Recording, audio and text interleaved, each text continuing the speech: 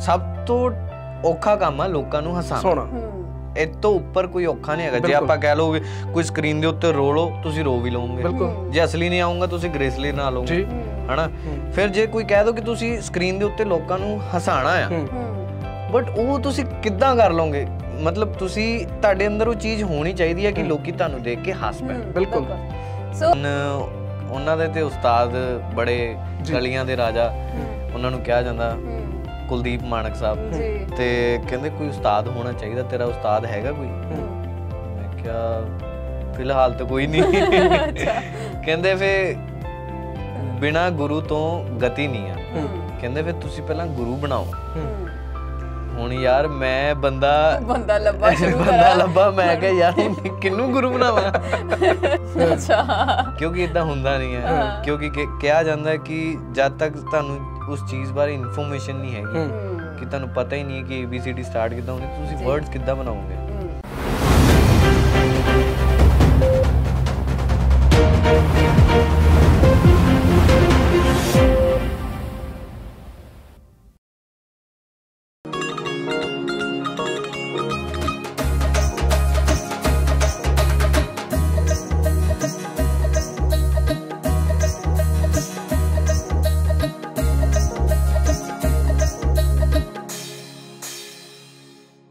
ਸਤਿ ਸ਼੍ਰੀ ਅਕਾਲ ਜੀ। Punjabi national TV ਦੇਖਦੇ ਸਾਰੇ ਦਰਸ਼ਕਾਂ ਦਾ ਸਵਾਗਤ ਹੈ ਸਾਡੇ ਪ੍ਰੋਗਰਾਮ ਗੱਲ ਪੰਜਾਬ ਦੇ ਵਿੱਚ। ਇੱਕ ਵਾਰ ਫਿਰ ਮੈਂ ਜਾਣੀ ਕਿ ਦਵਿੰਦਰ ਮੰਡ ਮੇਰੇ ਨਾਲ ਨੇ ਹਰ ਵਾਰ ਦੀ ਤਰ੍ਹਾਂ ਪੂਜਾ ਸੰਧੂ ਜੀ। ਅਸੀਂ ਹਾਜ਼ਰ ਹੋ ਗਏ ਹਾਂ ਤੁਹਾਡਾ ਮਨਪਸੰਦ ਪ੍ਰੋਗਰਾਮ ਲੈ ਕੇ ਗੱਲ ਪੰਜਾਬ ਦੀ।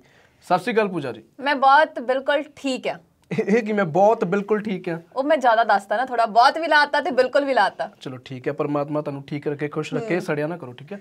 ਸੜੀ ਕਦੋਂ ਮੈਂ ਤੁਹਾਡੀ ਗੱਲ ਦਾ ਜਵਾਬ ਅੱਜ ਪਹਿਲਾਂ ਦੇਤਾ। ਮੈਨੂੰ ਪੁੱਛਣਾ ਸੀ ਤੁਸੀਂ ਵੀ ਹਾਂਜੀ ਕਿਵੇਂ ਹੋ ਪੂਜਾ ਜੀ? ਤੇ ਮੈਂ ਪਹਿਲੇ ਦੱਸਤਾ ਕਿ ਮੈਂ ਬਿਲਕੁਲ ਠੀਕ ਆ। ਚੰਗੀ ਗੱਲ ਆ। ਤੇ ਅੱਜ ਜਿਹੜੇ ਮਹਿਮਾਨ ਸਾਡੇ ਸਟੂਡੀਓ ਦੇ ਵਿੱਚ ਆਏ ਨੇ ਖਾਸ ਤੌਰ ਤੇ ਬੰਬੇ ਤੋਂ ਆਏ ਨੇ ਉਹ। ਤੇ ਤੁਸੀਂ ਇੰਨਾ ਸੈਡ ਹੋ ਕੇ ਦੁਖੀ ਹੋ ਕੇ ਕਿਉਂ ਦੱਸ ਰਹੇ ਹੋ? ਦੱਸੂਗਾ ਅੱਗੇ ਜਾ ਕੇ ਦੱਸੂਗਾ ਇਸ ਤਰ੍ਹਾਂ ਮੈਂ ਕਿਉਂ ਦੱਸਿਆ। ਇੱਕ ਤਾਂ ਬੰਬੇ ਤੋਂ ਵਿਚਾਰੇ ਆਏ ਇੱਥੇ ਹੈ ਇੰਟਰਵਿਊ ਵਾਸਤੇ। ਤੇ ਉੱਥੋਂ ਦੇ ਬੰਬੇ ਤੋਂ ਆਏ ਨੇ। ਅੱਜ ਸਾਡੇ ਸਟੂਡੀਓ ਦੇ ਵਿੱਚ ਬੰਬੇ ਤੋਂ ਖਾਸ ਤੌਰ ਤੇ ਤੇ ਮਹਿਮਾਨ ਪਹੁੰਚੇ ਨੇ ਜਿਨ੍ਹਾਂ ਦਾ ਨਾਮ ਹੈ ਗੁਨੀਤ ਸ਼ਰਮਾ ਜੀ। ਉਹਨਾਂ ਨੇ ਸਬ ਟੀਵੀ ਤੇ ਅਲਾਦੀਨ ਦਾ ਸੈਕੰਡ ਲੀਡ ਤੇ ਕੀਤਾ ਸੀ ਤੇ ਉਸ ਤੋਂ ਇਲਾਵਾ ਇੱਕ ਹੋਰ ਸ਼ੋਅ ਚੱਲਦਾ ਪਿਆ ਹੀਰੋ ਉਹਦੇ ਵਿੱਚ ਵੀ ਨਜ਼ਰ ਆਏ ਨੇ ਤੇ ਉਸ ਤੋਂ ਇਲਾਵਾ ਉਹਨਾਂ ਦੀ ਜਿਹੜੀ ਸ਼ੁਰੂਆਤ ਆ ਉਹ ਕਿਸ ਤਰ੍ਹਾਂ ਹੋਈ ਆ? ਸਿੱਧਾ ਜਾ ਕੇ ਬੰਬੇ ਗੱਜੇ ਨੇ ਉਹ। ਤੇ ਇੱਥੇ ਪੰਜਾਬੀ ਇੰਡਸਟਰੀ ਵਿੱਚ ਦਿਸੇ ਨਹੀਂ। ਕਿਉਂ ਨਹੀਂ ਦਿਸੇ? ਆਪਾਂ ਗੱਲ ਕਰਾਂਗੇ। ਸਭ ਤੋਂ ਪਹਿਲਾਂ ਉਹਨਾਂ ਦਾ ਸਵਾਗਤ ਕਰਦੇ ਹਾਂ। ਸਤਿ ਸ਼੍ਰੀ ਅਕਾਲ ਬਾਈ ਜੀ ਸਾਡੇ ਪ੍ਰੋਗਰਾਮ ਗੱਲ ਪੰਜਾਬ ਦੇ ਵਿੱਚ। ਸਤਿ ਸ਼੍ਰੀ ਅਕਾਲ ਸਤਿ ਸ਼੍ਰੀ ਅਕਾਲ। ਕੀ ਹਾਲ ਚਾਲ? ਠੀਕ ਹੈ ਜੀ ਠੀਕ ਠਾਕ? ਬਹੁਤ ਵਧੀਆ ਚੜ੍ਹਦੀ ਕਲਾ ਸੋ ਜਿਹੜਾ ਬੰਬੇ ਤੱਕ ਦਾ ਸਫ਼ਰ ਹੈ ਅਸੀਂ ਉਹਦੇ ਬਾਰੇ ਗੱਲਾਂ ਬਾਤਾਂ ਅੱਜ ਕਰਾਂਗੇ। ਪਰ ਇੱਕ ਐਕਟਿੰਗ ਜਿਹੜੀ ਫੀਲਡ ਹੈ ਨਾ ਮੈਨੂੰ ਲੱਗਦਾ ਹੈ ਕਿ ਹਰ ਇੱਕ ਪਰਸਨ ਜਿਹੜਾ ਹੈ ਉਹ ਐਕਟਿੰਗ ਤਾਂ ਕਰਦਾ ਹੀ ਆ ਆਪਣੀ ਡੇਲੀ ਰੁਟੀਨ ਦੇ ਵਿੱਚ। ਅਸੀਂ ਸਾਰੇ ਐਕਟਰ ਹੀ ਆ। ਬਟ ਇੱਕ ਕੈਮਰਾ ਤੇ ਐਕਟਿੰਗ ਕਰਨੀ ਔਰ ਇੱਕ ਆਪਣੀ ਆਮ ਜ਼ਿੰਦਗੀ 'ਚ ਐਕਟਿੰਗ ਕਰਨੀ 'ਚ ਬਹੁਤ ਫ਼ਰਕ ਹੁੰਦਾ ਹੈ ਹੈਨਾ ਹੈ। ਸੋ ਇਹ ਐਕਟਿੰਗ ਦਾ ਜਿਹੜਾ ਸਿਲਸਿਲਾ ਹੈ ਕਿਵੇਂ ਸ਼ੁਰੂ ਹੋਇਆ ਇਹਦੇ ਬਾਰੇ ਅਸੀਂ ਗੱਲਾਂ ਬਾਤਾਂ ਕਰਾਂਗੇ। ਪਰ ਸਭ ਤੋਂ ਪਹਿਲਾਂ ਚੱਲਦੇ ਹਾਂ ਤੁਹਾਡੇ ਬਚਪਨ ਦੇ ਉੱਤੇ। ਕਿ ਬਚਪਨ ਦੇ ਵਿੱਚ ਹੀ ਸੋਚ ਲਿਆ ਸੀਗਾ ਕਿ ਮੈਂ ਐਕਟਰ ਬਣਨਾ ਹੈ ਜਾਂ ਫਿਰ ਕੁਝ ਹੋਰ ਸੋਚਿਆ ਸੀ। ਨਹੀਂ ਐਕਚੁਅਲੀ ਬਚਪਨ ਚ ਮੈਂ ਨਹੀਂ ਸੀ ਸੋਚਿਆ। ਬਚਪਨ ਚ ਮੇਰੇ ਘਰਦਿਆਂ ਨੇ ਸੋਚਿਆ ਸੀ। ਮੇਰੇ ਪੇਰੈਂਟਸ ਹਮੇਸ਼ਾ ਮੈਨੂੰ ਕਹਿੰਦੇ ਹੁੰਦੇ ਸੀ ਕਿ ਤੈਨੂੰ ਫੋਰਸ ਦੇ ਵਿੱਚ ਜਾਣਾ ਹੈ ਜਾਂ ਪੁਲਿਸ ਲਾਈਨ ਚ ਜਾਣਾ ਹੈ। ਕਿਉਂਕਿ ਜਿਹੜਾ ਮੇਰਾ ਬੈਕਗ੍ਰਾਉਂਡ ਹੈ ਮੇਰੇ ਦਾਦਕੇ ਆ ਜਾਂ ਮੇਰੇ ਨਾਨਕੇ ਆ ਦਾਦਕੇ ਆ ਮੇਰੇ ਆਰਮੀ ਫੈਮਿਲੀ ਚੋਂ। ਤੇ ਮੇਰੇ ਨਾਨਕੇ ਆ ਪੁਲਿਸ ਫੈਮਿਲੀ ਚੋਂ। ਅੱਛਾ। ਅੱਛਾ।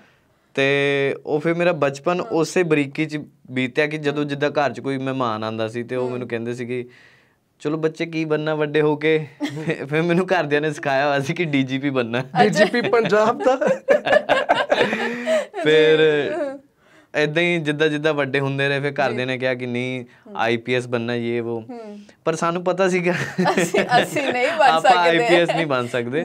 ਕਿੱਥੇ ਤੱਕ ਪਹੁੰਚਣਾ? ਜਿੱਦਾਂ ਹੀ ਮੈਂ ਪਲੱਸ 2 ਕੰਪਲੀਟ ਕੀਤੀ ਆਪਣੀ ਫਿਰ ਮੈਨੂੰ ਸਮਝ ਆਇਆ ਮੈਂ ਕਿ ਯਾਰ ਆਈਪੀਐਸ ਵਾਲਾ ਕੰਮ ਔਖਾ। ਅੱਛਾ ਇਹ ਏਦਾਂ ਕਿਉਂ ਲੱਗਿਆ ਸੀ? ਪੜ੍ਹਾਈ ਦੇ ਵਿੱਚ ਥੋੜਾ ਜਿਹਾ ਇਦਾਂ ਹੀ ਸੀਗੇ ਜਾਂ ਫਿਰ ਮਤਲਬ ਉਦਾਂ ਲੱਗਿਆ ਕਿ ਨਹੀਂ ਮੈਂ ਨਹੀਂ ਬਣਨਾ? ਨਹੀਂ ਪੜ੍ਹਾਈ ਦੇ ਵਿੱਚ ਇਦਾਂ ਹੀ ਸੀਗੇ। ਉਹਦੇ ਕਰਕੇ ਸੋਚਿਆ ਕਿ ਨਹੀਂ ਪੜ੍ਹਾਈ 'ਚ ਮੇਰੇ ਪਲੱਸ 2 ਚ ਆਇਆ ਸੀ 65% ਬਥੇਰੇ ਆ ਭਾਜੀ ਮੇਰੇ ਵਿਆਹ ਸੀ। ਦੱਸੋ। ਜਿਹਦੇ ਕਰਕੇ ਫਿਰ ਉਹ ਆਈਪੀਐਸ ਦੀ ਰਿਕੁਆਇਰਮੈਂਟ ਦੇ ਵਿੱਚ ਨਹੀਂ ਆਉਂਦਾ। ਗੱਲ ਵੱਖਰੀ ਮੈਂ ਵੈਸੇ ਗੱਲ ਕਰਦਾ ਵੀ 65% ਬਹੁਤ ਹੁੰਦੇ ਆ। ਬਹੁਤ ਹੁੰਦੇ ਦੋ ਬੰਦੇ ਪਾਸ ਹੋ ਜਾਂਦੇ ਦੋ ਬੰਦੇ ਪਾਸ ਹੋ ਜਾਂਦੇ ਆ। ਫਿਰ ਭਲਾ ਕੀਤਾ ਕਿਸੇ ਦਾ ਤੁਸੀਂ ਅੱਜ ਤੱਕ? ਅੱਛਾ ਭਾਜੀ ਆਪਾਂ ਬਚਪਨ ਦੀ ਗੱਲ ਕਰਦੇ ਹਾਂ। ਹਾਂ ਦੇਖਿਆ ਬਚਪਨ ਦੀ ਜੇ ਗੱਲ ਕਰੀਏ ਸ਼ਰਾਰਤੀ ਸੀਗੇ ਜਾਂ ਫਿਰ ਭੋਲੇ ਭਾਲੇ ਸੀਗੇ? ਮੈਂ ਬਹੁਤ ਸ਼ਰਾਰਤੀ ਸੀ। ਮੇਰੀਆਂ ਹਮੇਸ਼ਾ ਕੰਪਲੇਂਟਾਂ ਆਉਂਦੀਆਂ ਸੀ ਭਾਵੇਂ ਉਹ ਸਕੂਲ ਆ ਭਾਵੇਂ ਉਹ ਕਾਲਜ ਆ ਭਾਵੇਂ ਉਹ ਮੇਰੀ ਟਿਊਸ਼ਨ ਸੀ। ਤੇ ਘਰ ਦੇ ਹਮੇਸ਼ਾ ਕਹਿੰਦੇ ਚਲੋ ਮੈਡਮ ਐਤਕੀ ਮਾਫ ਕਰ ਦਿਓ ਉਹਨੂੰ ਰੱਖ ਲਓ। ਅਗਲੀ ਵਾਰੀ ਤੋਂ ਨਹੀਂ ਕਰਦਾ। ਤੇ ਅਗਲੀ ਵਾਰੀ ਮੈਨੂੰ ਲੱਗਦਾ ਚੜ ਕੇ ਕੀਤਾ ਹੁਣ। ਫਿਰ ਜਿੱਦਾਂ ਮੈਨੂੰ ਲੱਗਦਾ ਕਿ ਇਨਸਾਨ ਜਿੱਦਾਂ ਜਿੱਦਾਂ ਵੱਡਾ ਹੁੰਦਾ ਰਹਿੰਦਾ ਨਾ ਉਦਾਂ ਉਦਾਂ ਉਹਨੂੰ ਸਮਝ ਆਉਂਦੀ ਰਹਿੰਦੀ ਆ ਕਿ ਭਾਈ ਇਹ ਚ ਮੇਰਾ ਨੁਕਸਾਨ ਹੈ। ਹਾਂ। ਉਹ ਫਿਰ ਹੌਲੀ ਹੌਲੀ ਸਮਝ ਆਉਂਦੀ ਰਹੀ ਥੋੜੇ ਹਾਂ। ਠੀਕ ਆ ਅੱਜ ਜੋ ਵੀ ਹੈਗੇ ਆ। ਕਿੱਦਾਂ ਦੀਆਂ ਸ਼ਰਾਰਤਾਂ ਕਰਦੇ ਹੁੰਦੇ ਸੀ ਫਿਰ? ਸ਼ਰਾਰਤਾਂ ਅਨੋਖੀਆਂ ਹੁੰਦੀਆਂ ਸੀ ਕਿ ਜਿੱਦਾਂ ਅਨੋਖੀਆਂ ਹਾਂ ਇਹ ਇਹ ਜਾਣਨ ਵਾਲੀਆਂ ਨੇ। ਇਹ ਅਨੋਖੀਆਂ ਕਿਹੜੀਆਂ ਅਨੋਖੀਆਂ ਸੀਗੀਆਂ? ਕੁਝ ਇਦਾਂ ਖਾਸ ਨਹੀਂ ਜਿੱਦਾਂ ਬਚਪਨ 'ਚ ਆਪਾਂ ਕਲਾਸ 'ਚ ਬੈਠੇ ਆ ਇਕੱਠੇ ਲੰਚ ਕਰ ਰਹੇ ਆ ਬਸ ਪਤਾ ਨਹੀਂ ਕੀ ਦਿਮਾਗ 'ਚ ਸੁੱਝਿਆ ਜੇ ਮੇਰਾ ਕੋਈ ਕਲਾਸਮੇਟ ਨਾਲ ਮੇਰੇ ਟੇਬਲ ਤੇ ਬੈਠਾ ਆ ਤੇ ਉਹਦੀ ਇਦਾਂ ਆਪਾਂ ਟਿਫਨ ਨੂੰ ਉਡਾ ਕੇ ਉਹਦੀ ਸਬਜ਼ੀ ਖਿਲਾਰ ਦੇਣੀ। ਇਹ ਸੱਚੀ ਅਨੋਖੀ ਹੈ। ਇਹ ਵਾਕਿਆ ਲੋਕੀ ਤੇ ਬਾਅਦ ਚੋਂ ਸਾਰੀ ਯੂਨੀਫਾਰਮ ਉਹਦੀ ਵੀ ਖਰਾਬ ਹੋਣੀ ਤੇ ਮੇਰੀ ਵੀ ਖਰਾਬ ਹੋਣੀ। ਬਾਅਦ ਚੋਂ ਸਾਡੇ ਦੋਨਾਂ ਕੋ ਉਸ ਸਬਜ਼ੀ ਦੀ ਇੰਨੀ ਸਮੈਲ ਆਉਂਦੀ ਸੀ ਕਿ ਕਲਾਸ 'ਚ ਆਪਾਂ ਬੈਠਣ ਜੋਗੇ ਨਹੀਂ ਸੀ ਹੁੰਦੇ। ਅੱਛਾ। ਫਿਰ ਆਪਾਂ ਉਦੋਂ ਤੱਕ ਤੇ ਇੰਨਾ ਲੜ ਰਹੇ ਸੀ ਕਿ ਨਹੀਂ ਮੈਂ ਤੈਨੂੰ ਇਹ ਕਰ ਦੂੰਗਾ ਉਹ ਮੈਨੂੰ ਇਹ ਕਰ ਦੇਗਾ। ਫਿਰ ਜਿੱਦਾਂ ਹੀ ਪ੍ਰਿੰਸੀਪਲ ਤੱਕ ਗੱਲ ਪਹੁੰਚਦੀ ਸੀ ਉਹ ਕਹਿੰਦੇ ਸੀਗੇ ਕਿ ਚਲੋ ਇੱਕ ਦੂਜੇ ਦੀ ਸ਼ਰਟ ਸਾਫ਼ ਕਰੋ। ਫਿਰ ਜਿਹੜੀ ਸ਼ਰਟਾਂ ਆਪਾਂ ਖਰਾਬ ਕੀਤੀਆਂ ਸੀ ਉਹੀ ਉਹਦੀ ਭਾਈ ਤੇਰੇ ਇੱਥੇ ਲੱਗੀ ਆ ਇੱਥੇ ਲੱਗੀ ਆ। ਨਹੀਂ ਸਬਜ਼ੀ ਖਿਲਾਰਨ ਪਿੱਛੇ ਕੋਈ ਵਜ੍ਹਾ ਸੀ ਜਾਂ ਇਦਾਂ ਹੀ? ਐਵੇਂ ਪੁੱਠੇ ਕੰਮਾਂ 'ਚ ਦਿਮਾਗ ਥੋੜਾ ਜ਼ਿਆਦਾ ਦੌੜਦਾ ਸੀ। ਅੱਛਾ। ਅੱਛਾ। ਕਿ ਜਿੱਦਾਂ ਮੇਰੀ ਕਲਾਸ 'ਚ ਨਾ ਇੱਕ ਮੁੰਡਾ ਸੀ ਉਹਦਾ ਮੈਂ ਨਾਮ ਨਹੀਂ ਲਵਾਂਗਾ। ਉਹ ਨਾ ਉਸ ਟਾਈਮ ਤੇ ਬਹੁਤ ਜ਼ਿਆਦਾ ਮੋਟਾ ਹੁੰਦਾ ਸੀ ਉਹਦਾ ਭਾਰ ਹੋਣਾ ਘੱਟੋ ਘੱਟ 85 95 85 ਦੇ 90 ਦੇ ਕਿਹੜੀ ਕਲਾਸ ਦੀ ਗੱਲ ਹੈ ਇਹ? 10th ਦੀ ਗੱਲ ਆ। ਅੱਛਾ। ਇਹ 10ਵੀਂ ਕਲਾਸ ਚ 85 ਕਿਲੋ ਭਾਰ ਬਹੁਤ ਜ਼ਿਆਦਾ ਮੋਟਾ ਸੀ। ਉਹ ਐਡਾ ਮੋਟਾ ਸੀ ਕਿ ਉਹ ਜਦੋਂ ਤੁਰਦਾ ਸੀ ਉਹਦੇ ਉਹਦੇ ਗਲੇ 'ਚ ਬੋਤਲ ਪਾਈ ਹੁੰਦੀ ਸੀ ਉਹਦੀ ਮੰਮੀ ਨੇ ਤੇ ਬੋਤਲ ਵੀ ਐ ਹਿਲਦੀ ਸੀ। ਫਿਰ ਮਤਲਬ ਮੈਨੂੰ ਪਤਾ ਨਹੀਂ ਕੀ ਸ਼ਰਾਰਤ ਸੁਝੀ ਕਿ ਆਪਾਂ ਤਿੰਨ ਚਾਰ ਫਰੈਂਡਸ ਨੇ ਮਿਲ ਕੇ ਨਾ ਪਲਾਨ ਬਣਾਇਆ ਕਿ ਠੀਕ ਹੈ ਇਹਨੂੰ ਨਾ ਅੱਜ ਬਾਥਰੂਮ 'ਚ ਹੀ ਡੱਕ ਦੇਣਾ ਇਹਨੂੰ ਆਪਾਂ ਬਾਹਰ ਨਹੀਂ ਆਉਣ ਦੇਣਾ ਇਹ ਸਾਨੂੰ ਖੇਡਣ ਨਹੀਂ ਦਿੰਦਾ। ਅੱਛਾ। ਅੱਛਾ। ਕਿਉਂਕਿ ਜਦੋਂ ਆਪਾਂ ਖੇਡਦੇ ਸੀ ਨਾ ਗਰਾਊਂਡ 'ਚ ਤੇ ਉਹ ਜਦੋਂ ਵੀ ਆਂਦਾ ਸੀ ਉਹ ਧੱਕਾ ਮਾਰਦੇ ਸੀ ਆਪਾਂ ਡਿੱਗ ਪਏ ਹੁਣ ਉਹ ਐਡਾ ਭਲਵਾਨ ਆਪਾਂ ਉਦੋਂ ਹੈ ਨਹੀਂ ਸੀ। ਫਿਰ ਆਪਾਂ ਕੀ ਕੀਤਾ ਉਹਨੂੰ ਬੁਲਾਇਆ। ਗਰਾਊਂਡ 'ਚ ਲੈ ਕੇ ਗਏ ਉਹਨੂੰ ਬਾਥਰੂਮ 'ਚ। ਤੇ ਮੈਂ ਉਹਨੂੰ ਆਪਣੇ ਫਰੈਂਡ ਨੂੰ ਕਿਹਾ ਮੈਂ ਕਿਹਾ ਇਹਨੂੰ ਪਿੱਛੋਂ ਦੀ ਨਾ ਧੱਕਾ ਮਾਰੀ ਤੇ ਇਹਦੀ ਮੈਂ ਬਾਹ ਖਿੱਚ ਕੇ ਨਾ ਹੋਰ ਅੱਗੇ ਕਰ ਦੂੰਗਾ। ਦੈਨ ਉਹਦਾ ਪੈਰ ਜਿਹੜਾ ਆ ਕਿ ਉਹ ਫਲਸ਼ ਦੀ ਸੀਟ ਦੇ ਵਿੱਚ ਫਸ ਜਾਊਗਾ ਵੈਸੇ ਬਾ ਕਮਾਲ ਸ਼ਰਾਰਤਾਂ ਸੀ ਇਹ ਤਾਂ। ਫਿਰ ਇਹ ਬਹੁਤ ਜ਼ਿਆਦਾ ਵੱਡੀ ਕੰਪਲੇਂਟ ਹੋ ਗਈ ਸੀ ਸਕੂਲ ਵਾਲਿਆਂ ਨੇ ਫਿਰ ਮੇਰੇ ਪੇਰੈਂਟਸ ਨੂੰ ਸੱਦਿਆ ਕਿ ਆ ਬੱਚਾ ਤੁਹਾਡਾ ਕੀ ਕਰਦਾ ਆ। ਫਿਰ ਪੇਰੈਂਟਸ ਨੇ ਫਿਰ ਕੀ ਕਿਹਾ? ਪੇਰੈਂਟਸ ਨੇ ਅੱਬਲ ਤੇ ਮੇਰੇ ਪੇਰੈਂਟਸ ਆਂਦੇ ਹੀ ਨਹੀਂ ਸੀ ਸਕੂਲ। ਅੱਛਾ। ਅੱਛਾ ਕਿਹੜੀ ਗੱਲੋਂ ਮਤਲਬ? ਜੋ ਬੁਲਾਉਂਦੇ ਸੀ ਸਕੂਲ ਵਾਲੇ ਤੇ ਆਉਂਦੇ ਨਹੀਂ ਸੀ? ਨਾ ਉਹ ਕਹਿੰਦੇ ਤੁਸੀਂ ਆਪੇ ਦੇਖੋ। ਆਮ ਗੱਲਾਂ ਹੋ ਗਈਆਂ ਨੇ ਤਾਂ ਰੋਜ਼ ਦੀਆਂ ਸ਼ਰਾਰਤਾਂ ਹੁਣ ਉਹ ਕਿੱਥੇ ਕਹਿੰਦੇ ਕਿੱਥੇ ਆਪਾਂ ਨਹੀਂ ਆਣਾ ਤੂੰ ਦੇਖ ਲੈ ਤੈਨੂੰ ਬਿਠਾਊਗੇ ਤੇ ਠੀਕ ਹੈ ਨਹੀਂ ਬਿਠਾਊਗੇ ਤੇ ਘਰੇ ਆ ਜਾ ਫੋਨ ਕਰ ਦਾਂਗੇ। ਫਿਰ ਦੇ ਦੋ ਚਾਰ ਦਿਨ ਘਰ ਬੈਠੇ ਰਹੇ। ਹੂੰ। ਫਿਰ ਸਕੂਲੇ ਫੋਨ ਕੀਤਾ ਮੰਮੀ ਨੇ ਕਿ ਏਦਾਂ ਏਦਾਂ ਚਲੋ ਐਤ ਕੀ ਮਾਫ ਕਰ ਦਿਓ ਅਗਲੀ ਵਾਰੀ ਨਹੀਂ ਕਰਦਾ। ਹੂੰ। ਫਿਰ ਸਕੂਲ ਕੰਟੀਨਿਊ ਓਕੇ ਮਤਲਬ ਕਦੀ ਇਦਾਂ ਦੀ ਨੌਬਤ ਤਾਂ ਨਹੀਂ ਆਈ ਕਿ ਸਕੂਲ ਚੋਂ ਬਸ ਟੀਚਰਸ ਨੇ ਕੱਢਿਆ ਹੀ ਲੈ? ਹਾਂ ਇਦਾਂ ਦੀ ਨੌਬਤ ਆਈ ਸੀ। ਐਕਚੁਅਲੀ ਉਦੋਂ ਟੱਚ ਸਕਰੀਨ ਮੋਬਾਈਲ ਨਵੇਂ-ਨਵੇਂ ਚੱਲੇ ਸੀਗੇ। ਅੱਛਾ। ਤੇ ਮੈਨੂੰ ਪੇਰੈਂਟਸ ਦਾ ਮੈਂ ਬਹੁਤ ਜ਼ਿਆਦਾ ਜਿੱਦਾਂ ਪਿਆਰਾ ਕਹਿ ਲਓ ਲਾਡਲਾ ਕਹਿ ਲਓ ਹਰ ਇੱਕ ਬੱਚਾ ਇੱਕ ਮਾਪਿਓ ਦਾ ਹੁੰਦਾ ਹੀ ਆ। ਤੇ ਮੈਂ ਕਿਹਾ ਕਿ ਮੈਨੂੰ ਫੋਨ ਲੈਣਾ ਉਹਨਾਂ ਨੇ ਟੱਚ ਸਕਰੀਨ ਵਾਲਾ ਨਵਾਂ-ਨਵਾਂ ਚੱਲਿਆ ਸੀ ਤੋਂ ਚਾਈਨਾ ਦੇ ਫੋਨ ਚੱਲਦੇ ਹੁੰਦੇ ਸੀ ਮੈਨੂੰ ਲੈ ਦਿੱਤਾ। ਅੱਛਾ। ਐਂਡ ਉਹ ਫੋਨ ਹੁਣ ਮੈਨੂੰ ਬੜਾ ਚਾਹ ਸੀ ਕਿ ਮੇਰੇ ਕੋਲ ਫੋਨ ਹੈ। ਦੈਨ ਮੈਂ ਉਹ ਸਕੂਲ ਲੈ ਕੇ ਜਾਂਦਾ ਮੈਂ ਇਹ 10ਵੀਂ ਕਲਾਸ ਦੀ ਗੱਲ ਹੈ? 11th ਦੀ ਗੱਲ ਦੱਸ ਰਿਹਾ। ਅੱਛਾ। ਦੈਨ ਮੈਂ ਉਹ ਫੋਨ ਸਕੂਲ ਲੈ ਕੇ ਜਾਂਦਾ ਸੀ ਹੁਣ ਸਕੂਲੇ ਰੱਖਾਂ ਕਿੱਥੇ ਇਹ ਵੀ ਪ੍ਰੋਬਲਮ ਹੈ। ਅੱਛਾ। ਦੈਨ ਮੇਰੀ ਇੱਕ ਮੈਨੂੰ ਅੱਜ ਵੀ ਯਾਦ ਆ ਪੰਜਾਬੀ ਭਾਗ 2 ਦੀ ਕਿਤਾਬ ਹੁੰਦੀ ਸੀ। ਉਹਨੂੰ ਮੈਂ ਇਦਾਂ ਕਟਰ ਦੇ ਨਾਲ ਵਿੱਚੋਂ ਫਾੜ ਕੇ ਤੇ ਫੋਨ ਦੀ ਜਗ੍ਹਾ ਬਣਾਈ। ਮਾਈ ਗॉड ਬੜੇ ਜਗਾੜੀ ਸੀ ਹੈ। ਜਿੱਦਾਂ ਕਿਤਾਬ ਬੰਦ ਕਰੋ ਤੇ ਪਤਾ ਨਹੀਂ ਸੀ ਲੱਗਦਾ ਕਿ ਵਿੱਚ ਫੋਨ ਹੈਗਾ। ਅੱਛਾ। ਤੋ ਇੱਕ ਦਿਨ ਕਿਤਾਬ 'ਚ ਪਿਆ ਪਿਆ ਫੋਨ ਵੱਜ ਗਿਆ। ਵੈਰੀ ਗੁੱਡ ਪਤਾ ਨਹੀਂ ਕੰਪਨੀ ਦਾ ਸੀ ਜਾਂ ਕਿਹਦਾ ਸੀ। ਉਹ ਫੋਨ ਕਲਾਸ 'ਚ ਮੈਡਮ ਪੜ੍ਹਾ ਰਹੀ ਤੇ ਉਹ ਵੱਜੇ ਟਰਨ ਟਰਨ ਮਤਲਬ ਤੇ ਕਹਿੰਦੀ ਕੌਣ ਹੈ ਇਹ? ਹੈ ਉਹ ਹੈ। ਮੈਡਮ ਨੇ ਖੜਾ ਕਰ ਲਿਆ ਮੈਨੂੰ। ਸਾਰਿਆਂ ਨੂੰ ਪਤਾ ਸੀ ਫੋਨ ਮੇਰੇ ਤੋਂ ਕਹਿੰਦੇ ਇਹਦੇ ਕੋ ਆ। ਅੱਛਾ। ਮੈਂ ਖੜਾ ਹੋ ਗਿਆ। ਦੈਨ ਮੈਨੂੰ ਕਹਿੰਦੇ ਚੱਲ ਬੈਂਚ ਤੇ ਮੁਰਗਾ ਬਣ ਜਾ। ਬੈਂਚ ਤੇ ਉੱਪਰ ਚੜ ਗਏ? ਬੈਂਚ ਦੇ ਉੱਤੇ ਚੜ ਕੇ ਮੁਰਗਾ ਬਣ ਜਾ। ਮਤਲਬ ਸਜ਼ਾ ਵੀ ਜਿਹੜੀਆਂ ਅਨੋਖੀਆਂ ਹੀ ਮਿਲੀਆਂ ਨੇ। ਅੱਛਾ ਮਤਲਬ ਇਹ ਜਿਹੜੀਆਂ ਇਦਾਂ ਦੀਆਂ ਸਟੋਰੀਜ਼ ਆਉਂਦੀਆਂ ਸੀ ਮਾਈਂਡ ਦੇ ਵਿੱਚ ਇਹ ਕੋਈ ਟੀਵੀ ਸੀਰੀਅਲ ਦੇਖਦੇ ਸੀ ਜਾਂ ਕੁਝ ਦੇਖਦੇ ਸੀ? ਉੱਥੋਂ ਦੇਖ ਕੇ ਇਦਾਂ ਦੇ ਆਈਡੀਆਜ਼ ਆਉਂਦੇ ਸੀਗੇ ਮਾਈਂਡ 'ਚ? ਨਹੀਂ ਇਦਾਂ ਦਾ ਕੁਝ ਨਹੀਂ। ਬਸ ਆਟੋਮੈਟਿਕਲੀ ਦਿਮਾਗ ਕਹਿ ਲਓ ਕਿ ਸ਼ੁਰੂ ਤੋਂ ਹੀ ਸ਼ਰਾਰਤੀ ਸੀ। ਅੱਛਾ। ਉਹ ਤਾਂ ਕਰਕੇ ਸ਼ਾਇਦ ਫੋਨ ਰੱਖਣ ਨੂੰ ਮਿਹਨਤ ਕਿੰਨੀ ਕੁ ਲੱਗੀ ਸੀ ਕਿਤਾਬ ਤੇ? ਬੜੀ ਜ਼ਿਆਦਾ ਮਿਹਨਤ ਲੱਗੀ ਸੀ ਘੱਟੋ ਘੱਟ ਮੈਂ ਅੱਧਾ ਪੌਣਾ ਘੰਟਾ ਪਹਿਲਾਂ ਉਹ ਸਾਈਜ਼ ਨਾਪਿਆ ਫਿਰ ਉਹਨੂੰ ਵਰਕੇ ਪਾੜੇ ਉਦੋਂ ਕਟਰ ਦੇ ਨਾਲ ਹੌਲੀ ਹੌਲੀ ਹੌਲੀ ਕੱਢੇ ਕਿ ਕਿਤੇ ਜ਼ਿਆਦਾ ਵਿੱਚ ਨਾ ਚੱਲ ਜੇ। ਇਹ ਘਰੇ ਕੀਤਾ ਸੀ ਜਾਂ ਸਕੂਲ ਲਈ ਨਹੀਂ ਨਹੀਂ, ਇਹ ਘਰੇ ਕੰਮ ਸੀ। ਕਰਨਗੇ ਸਕੂਲ ਤਾਂ ਨਹੀਂ। ਅੱਛਾ ਤੇ ਫਿਰ ਜਦੋਂ ਸਕੂਲ ਦੇ ਵਿੱਚ ਇਦਾਂ ਦੀਆਂ ਸ਼ਰਾਰਤਾਂ ਤੁਸੀਂ ਬਹੁਤ ਸਾਰੀਆਂ ਕੀਤੀਆਂ ਤੇ ਮਤਲਬ ਤੁਸੀਂ ਉਸ ਟਾਈਮ ਤੇ ਕੋਈ ਸੀਰੀਅਲ ਵਗੈਰਾ ਜਾਂ ਉਸ ਟਾਈਮ ਤੇ ਇਹਨੇ ਸੀਰੀਅਲ ਆਉਂਦੇ ਨਹੀਂ ਸੀ ਵੈਸੇ? ਦੂਰਦਰਸ਼ਨ ਦਾ ਜ਼ਮਾਨਾ ਸੀ ਮੈਨੂੰ ਲੱਗਦਾ। ਤੇ ਨਹੀਂ ਉਹ- ਨਹੀਂ ਹਾਂ। ਸੀ।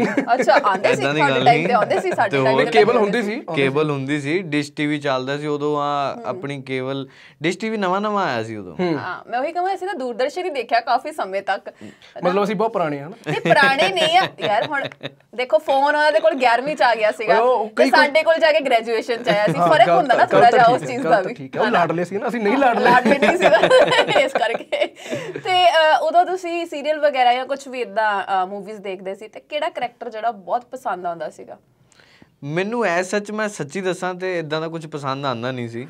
ਮੈਨੂੰ ਬਸ ਇਹੀ ਸੀਗਾ ਕਿ ਜਿੱਦਾਂ ਛੋਟੇ ਹੁੰਦੇ ਮੈਨੂੰ ਯਾਦ ਆ ਜਦੋਂ ਮੈਂ 6ਵੀਂ ਜਾਂ 7ਵੀਂ ਚ ਸੀਗਾ ਉਦੋਂ ਇੱਕ ਸਟਾਰ ਪਲੱਸ ਤੇ ਨਾਟਕ ਆਂਦਾ ਸੀ ਸ਼ਕਲਾਕਾ ਬੂਮ ਬੂਮ। ਹਾਂ। ਬਹੁਤ ਫੇਮਸ ਸੀ। ਬਹੁਤ ਜ਼ਿਆਦਾ ਫੇਮਸ ਸੀ। ਹਾਂ ਤੇ ਉਹ ਦੇਖਦਾ ਹੁੰਦਾ ਸੀ ਜਾਂ ਮੈਨੂੰ ਮੇਰੀ ਪੁਰਾਣੀ ਇੱਕ ਯਾਦ ਚ ਮੈਂ ਜਾਵਾਂ ਤੇ 5th ਦੇ ਵਿੱਚ ਸੀਗਾ ਮੈਂ ਜਦੋਂ ਸ਼ਕਤੀਮਾਨ ਆਂਦਾ ਸੀ। ਅੱਛਾ। ਤੇ ਉਹ ਸੈਟਰਡੇ ਸੰਡੇ ਆਂਦਾ ਸੀ। ਸੈਟਰਡੇ 12 ਵਜੇ ਸ਼ੁਰੂ ਹੁੰਦਾ ਸੀ ਉਹ। ਤੇ ਮੇਰੇ ਸੈਟਰਡੇ ਹਾਫ ਡੇ ਹੁੰਦਾ ਸੀ ਸਕੂਲ। ਜੀ 12 ਵਜੇ ਛੁੱਟੀ ਹੋਣੀ ਤੇ 12 ਵਜੇ ਉਹਨੇ ਸ਼ੁਰੂ ਹੋਣਾ। ਸਕੂਲ ਤੋਂ ਮੇਰਾ ਘਰ ਹੋਣਾ ਤਕਰੀਬਨ 700 800 ਮੀਟਰ। ਹਾਂ। ਮੈਂ ਜੋ ਸ਼ੁਰਲੀ ਵਾਂਗੂ ਦੌੜਨਾ ਕਿ ਕਿਤੇ ਕੋਈ ਸ਼ਕਤੀਮਾਨ ਦਾ ਕੋਈ ਸੀਨ ਨਾ ਮਿਸ ਹੋ ਜੇ ਓਕੇ। ਸੋ ਫਿਰ ਅੱਛਾ। ਸ਼ਕਤੀਮਾਨ ਤੇ ਫਿਰ ਉਸ ਤੋਂ ਬਾਅਦ ਸ਼ਾਕਾਲਾ ਕਬੂਮ ਉਸ ਤੋਂ ਬਾਅਦ ਇਦਾਂ ਦਾ ਕੁਝ ਪਸੰਦੀਦਾ ਇਦਾਂ ਦਾ ਕੁਝ ਕਹਿ ਨਹੀਂ ਸਕਦਾ। ਜੀ ਗੱਲਾਂ ਬਾਤਾਂ ਬਾਈ ਜੀ ਆਪਾਂ ਹੋਰ ਵੀ ਕਰਾਂਗੇ ਪਰ ਸਮਾਂ ਇੱਥੇ ਇੱਕ ਬ੍ਰੇਕ ਦਾ ਹੋ ਗਿਆ। ਬ੍ਰੇਕ ਤੋਂ ਬਾਅਦ ਫਿਰ ਮਿਲਦੇ ਹਾਂ। ਪ੍ਰੋਗਰਾਮ ਚੱਲ ਰਿਹਾ ਗੱਲ ਪੰਜਾਬ ਦੀ ਤੇ ਸਾਡੇ ਅੱਜ ਦੇ ਮਹਿਮਾਨ ਨੇ ਗੁਨੀਤ ਸ਼ਰਮਾ ਜੀ।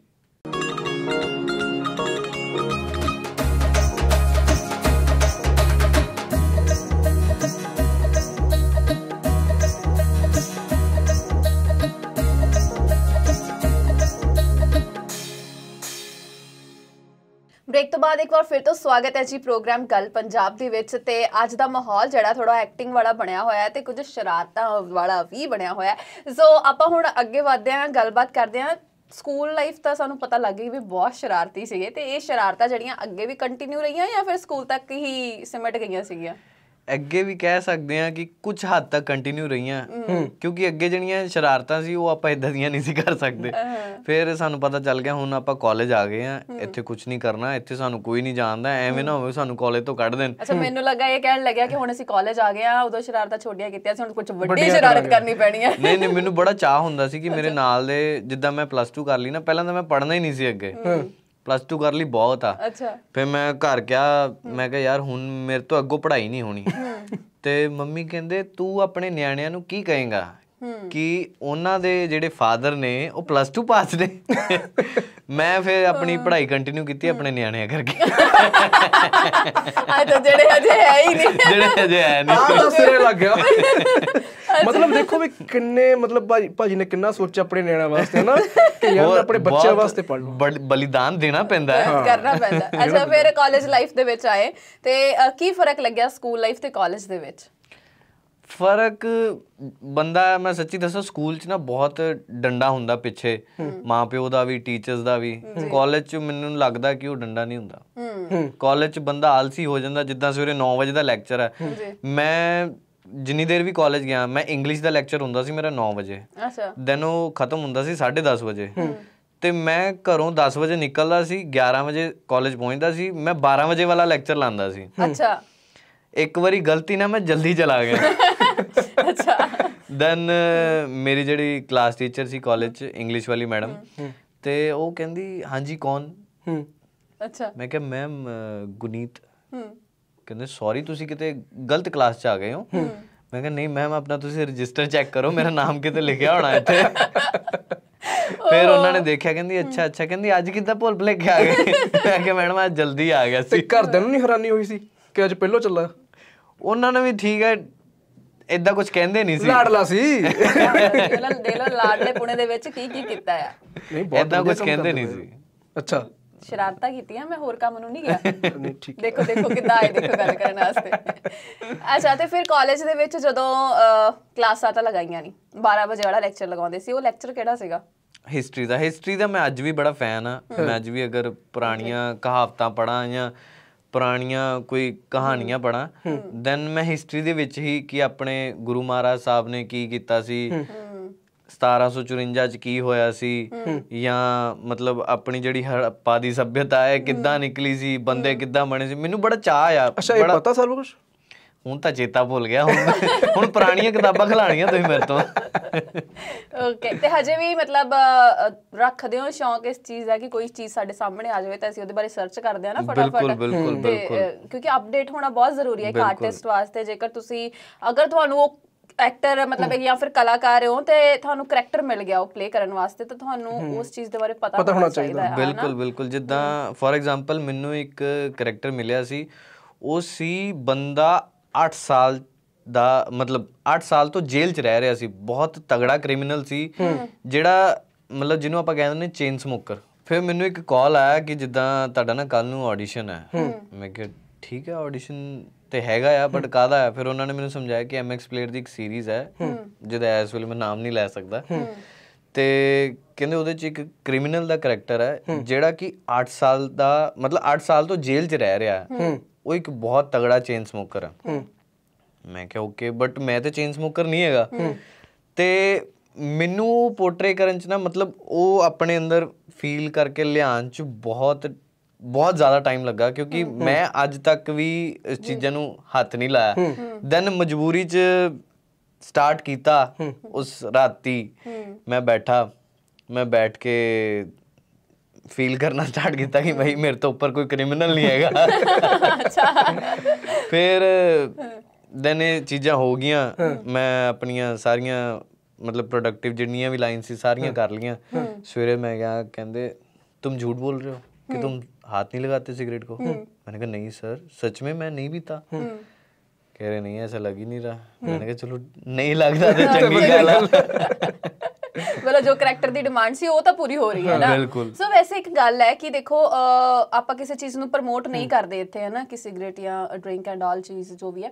ਕਿਉਂਕਿ ਇਹ ਜਿਹੜੀਆਂ ਚੀਜ਼ਾਂ ਨੇ ਸਾਡੀ ਸਿਹਤ ਵਾਸਤੇ ਨੁਕਸਾਨ ਬਹੁਤ ਦੇ ਜ਼ਿਆਦਾ, ਨੇ ਹੈਗੀਆਂ। ਬਟ ਫਿਰ ਵੀ ਜੇਕਰ ਅਸੀਂ ਆਪਣੀ ਲਾਈਫ 'ਚ ਨਹੀਂ ਕਰ ਰਹੇ ਰੀਅਲ ਲਾਈਫ ਦੇ ਵਿੱਚ ਨਹੀਂ ਕਰ ਰਹੇ ਬਟ ਇੱਕ ਆਰਟਿਸਟ ਦੀ ਲਾਈਫ ਇਦਾਂ ਦੀ ਹੁੰਦੀ ਆ ਕਿ ਅਗਰ ਉਹ ਚੀਜ਼ ਆਪਣੀ ਰੀਅਲ ਲਾਈਫ 'ਚ ਨਹੀਂ ਵੀ ਕਰ ਰਿਹਾ ਬਟ ਉਹਨੂੰ ਕਰੈਕਟਰ ਮਿਲ ਰਿਹਾ ਆ ਪਰਫਾਰਮ ਕਰਨ ਵਾਸਤੇ ਤੇ ਦੈਨ ਉਹਨੂੰ ਉਹ ਚੀਜ਼ ਕਰਨੀ ਪੈਂਦੀ ਆ ਆਡੀਅנס ਦੇ ਲਈ। ਮਜਬੂਰੀ ਚ ਮਜਬੂਰੀ ਚ। ਮਜਬੂਰੀ ਚ ਕਰਨੀ ਪੈਂਦੀ ਹੈ ਬਟ ਇੱਕ ਗੱਲ ਚੰਗੀ ਵੀ ਹੈ ਅਸਲੀ ਕਲਾਕਾਰ ਮੈਨੂੰ ਲੱਗਦਾ ਉਹੀ ਹੁੰਦਾ ਕਿ ਜਿਹੜਾ ਹਰ ਰੋਲ ਜਿਹੜਾ ਨਿਭਾ ਸਕਦਾ ਹੋਵੇ ਕੈਮਰੇ ਦੇ ਬਿਲਕੁਲ ਉੱਤੇ ਹਨਾ? ਬਿਲਕੁਲ। ਇਦਾਂ ਦਾ ਇੱਕ ਸੀਨ ਆਇਆ ਸੀ।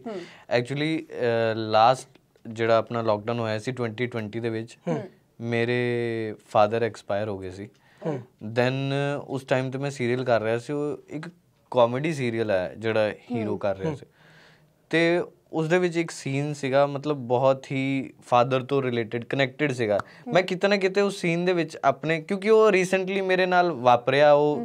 ਮਤਲਬ ਤੋ ਮੈਂ ਇਹ ਵੀ ਕਹਿ ਸਕਦਾ ਕਿ ਉਹਨੂੰ ਮੈਂ ਭੁੱਲ ਨਹੀਂ ਸਕਦਾ ਪੂਰੀ ਜ਼ਿੰਦਗੀ ਹੁਣ ਮੈਨੂੰ ਉਹ ਯਾਦ ਹੀ ਰਹਿਣਾ ਹੈ। ਦੈਨ ਉਹ ਸੀਨ ਦੇ ਵਿੱਚ ਮੈਂ ਇੰਨਾ ਕਨੈਕਟ ਕੀਤਾ ਉਹਦੇ ਨਾਲ ਕਿ ਮੇਰੀ ਅੰਦਰ ਜਿਹੜੀ ਮੈਮਰੀ ਚੱਲ ਰਹੀ ਹੈ ਉਹ ਬਹੁਤ ਹੀ ਜਿਹਨੂੰ ਕਹਿ ਲਓ ਕਿ ਸੈਡ ਇਮੋਸ਼ਨਲ ਉਹ ਚੱਲ ਰਹੀ ਹੈ। ਬਟ ਮੇਰੀ ਜਿਹੜੀ ਆਊਟਪੁੱਟ ਹੈ ਉਹ ਬਹੁਤ ਲਾਫਿੰਗ ਬਹੁਤ ਬਹੁਤ ਜ਼ਿਆਦਾ ਐਕਸਪ੍ਰੈਸਿਵ ਦੈਨ ਉਹ ਮੇਰੇ ਲਈ ਇੱਕ ਬੜਾ ਟਫ ਸੀਗਾ ਕੰਮ। ਡਿਫਿਕਲਟ ਟਾਸਕ ਸੀ ਕਿਉਂਕਿ ਐਕਸਪ੍ਰੈਸ਼ਨਸ ਜਿਹੜੇ ਤੁਹਾਡੇ ਆ ਨਾ ਉਹ ਅੰਦਰ ਕੁਝ ਹੋਰ ਹੋਵੇ ਤੇ ਬਾਹਰ ਕੁਝ ਹੋਰ ਤੁਸੀਂ ਦਿਖਾਉਣਾ ਹੋਵੇ ਇਹ ਬਹੁਤ ਡਿਫਿਕਲਟ ਹੁੰਦਾ ਇਹੀ ਅਕਸਰ। ਸ਼ਾਇਦ ਆਰਟਿਸਟ ਦੀ ਲਾਈਫ ਹੈ ਕਿ ਉਹ ਅੰਦਰੋਂ ਕਿਤੇ ਨਾ ਕਿਤੇ ਬਹੁਤ ਭਰਿਆ ਹੁੰਦਾ ਪਰ ਉਹਨੂੰ ਜਦੋਂ ਕਰੈਕਟਰ ਮਿਲ ਜਾਵੇ ਕਿ ਹਾਂ ਤੂੰ ਕਾਮੇਡੀ ਕਰਨੀ ਜਾਂ ਹਾਸਾ ਪਾਉਣਾ ਤੇ ਉਹਦੇ ਲਈ ਬਹੁਤ ਦਿੱਕਤ ਹੁੰਦੀ ਉਸ ਚੀਜ਼ ਨੂੰ ਕਰਨ ਦੀ ਵਿੱਚ ਪਰ ਆਡੀਅנס ਨੂੰ ਹਸਾਉਣਾ ਹੁੰਦਾ ਆ। ਇਹ ਇੱਕ ਸਟੋਰੀ ਸ਼ਾਇਦ ਤੁਸੀਂ ਵੀ ਕੀਤੀ ਸੀ ਚਾਰਲੀ ਚੈਪਲਿਨ ਦੀ। ਜੀ। ਅਸਲ ਵਿੱਚ ਉਹਦੀ ਲਾਈਫ ਕੁਝ ਹੋਰ ਸੀ ਪਰ ਉਹ ਲੋਕਾਂ ਨੂੰ ਹਸਾਉਂਦਾ ਸੀ। ਬਿਲਕੁਲ। ਜੀ। ਸਭ ਤੋਂ ਔਖਾ ਕੰਮ ਆ ਲੋਕਾਂ ਨੂੰ ਹਸਾਉਣਾ। ਹਸਾਉਣਾ। ਇਹ ਤੋਂ ਉੱਪਰ ਕੋਈ ਔਖਾ ਨਹੀਂ ਹੈਗਾ। ਜੇ ਆਪਾਂ ਕਹਿ ਲਓਗੇ ਕੋਈ ਸਕਰੀਨ ਦੇ ਉੱਤੇ ਰੋ ਲਓ ਤੁਸੀਂ ਰੋ ਵੀ ਲਓਗੇ। ਜੇ ਅਸਲੀ ਨਹੀਂ ਆਉਂਗਾ ਤੁਸੀਂ ਗ੍ਰੇਸਲੀ ਨਾ ਲਓਗੇ। ਹਨਾ? ਫਿਰ ਜੇ ਕੋਈ ਕਹਿ ਦੋ ਕਿ ਤੁਸੀਂ ਸਕਰੀਨ ਦੇ ਉੱਤੇ ਲੋਕਾਂ ਨੂੰ ਹਸਾਣਾ ਆ ਬਟ ਉਹ ਤੁਸੀਂ ਕਿੱਦਾਂ ਕਰ ਲਓਗੇ?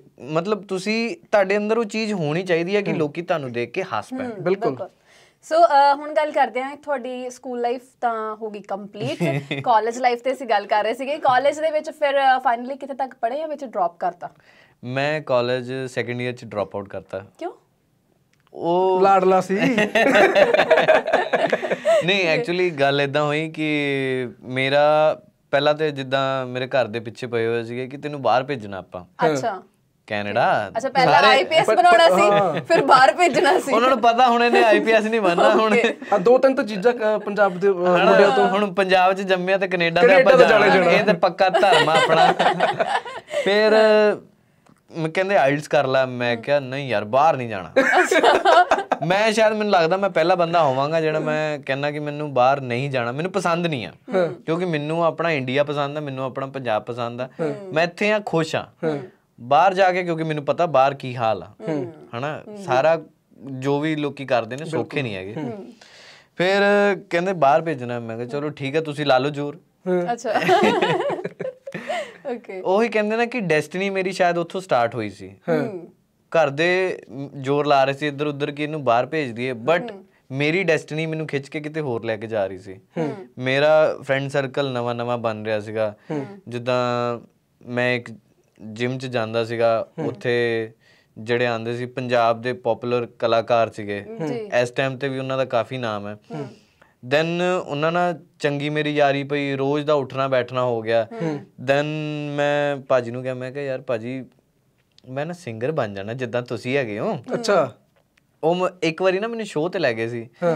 ਸ਼ਾਇਦ ਆਪਾਂ ਨਾਮ ਡਿਸਕਲੋਜ਼ ਨਹੀਂ ਕਰਦੇ। ਜੀ ਉਹ ਕਿਹੜਾ ਸ਼ੋਅ ਸੀਗਾ? ਉਹ ਆਪਾਂ ਜਾਣਾਂਗੇ ਇੱਕ ਬ੍ਰੇਕ ਤੋਂ ਬਾਅਦ ਕਿਉਂਕਿ ਵੇਲਾ ਹੋ ਰਿਹਾ ਹੈ ਇੱਕ ਇੱਥੇ ਛੋਟੀ ਜਿਹੀ ਬ੍ਰੇਕ ਦਾ। ਬ੍ਰੇਕ ਤੋਂ ਬਾਅਦ ਫਿਰ ਤੋਂ ਹਾਜ਼ਰ ਹੁੰਨੇ ਆ ਤੁਸੀਂ ਦੇਖ ਰਹੇ ਹੋ ਪ੍ਰੋਗਰਾਮ ਗੱਲ ਪੰਜਾਬ ਦੀ।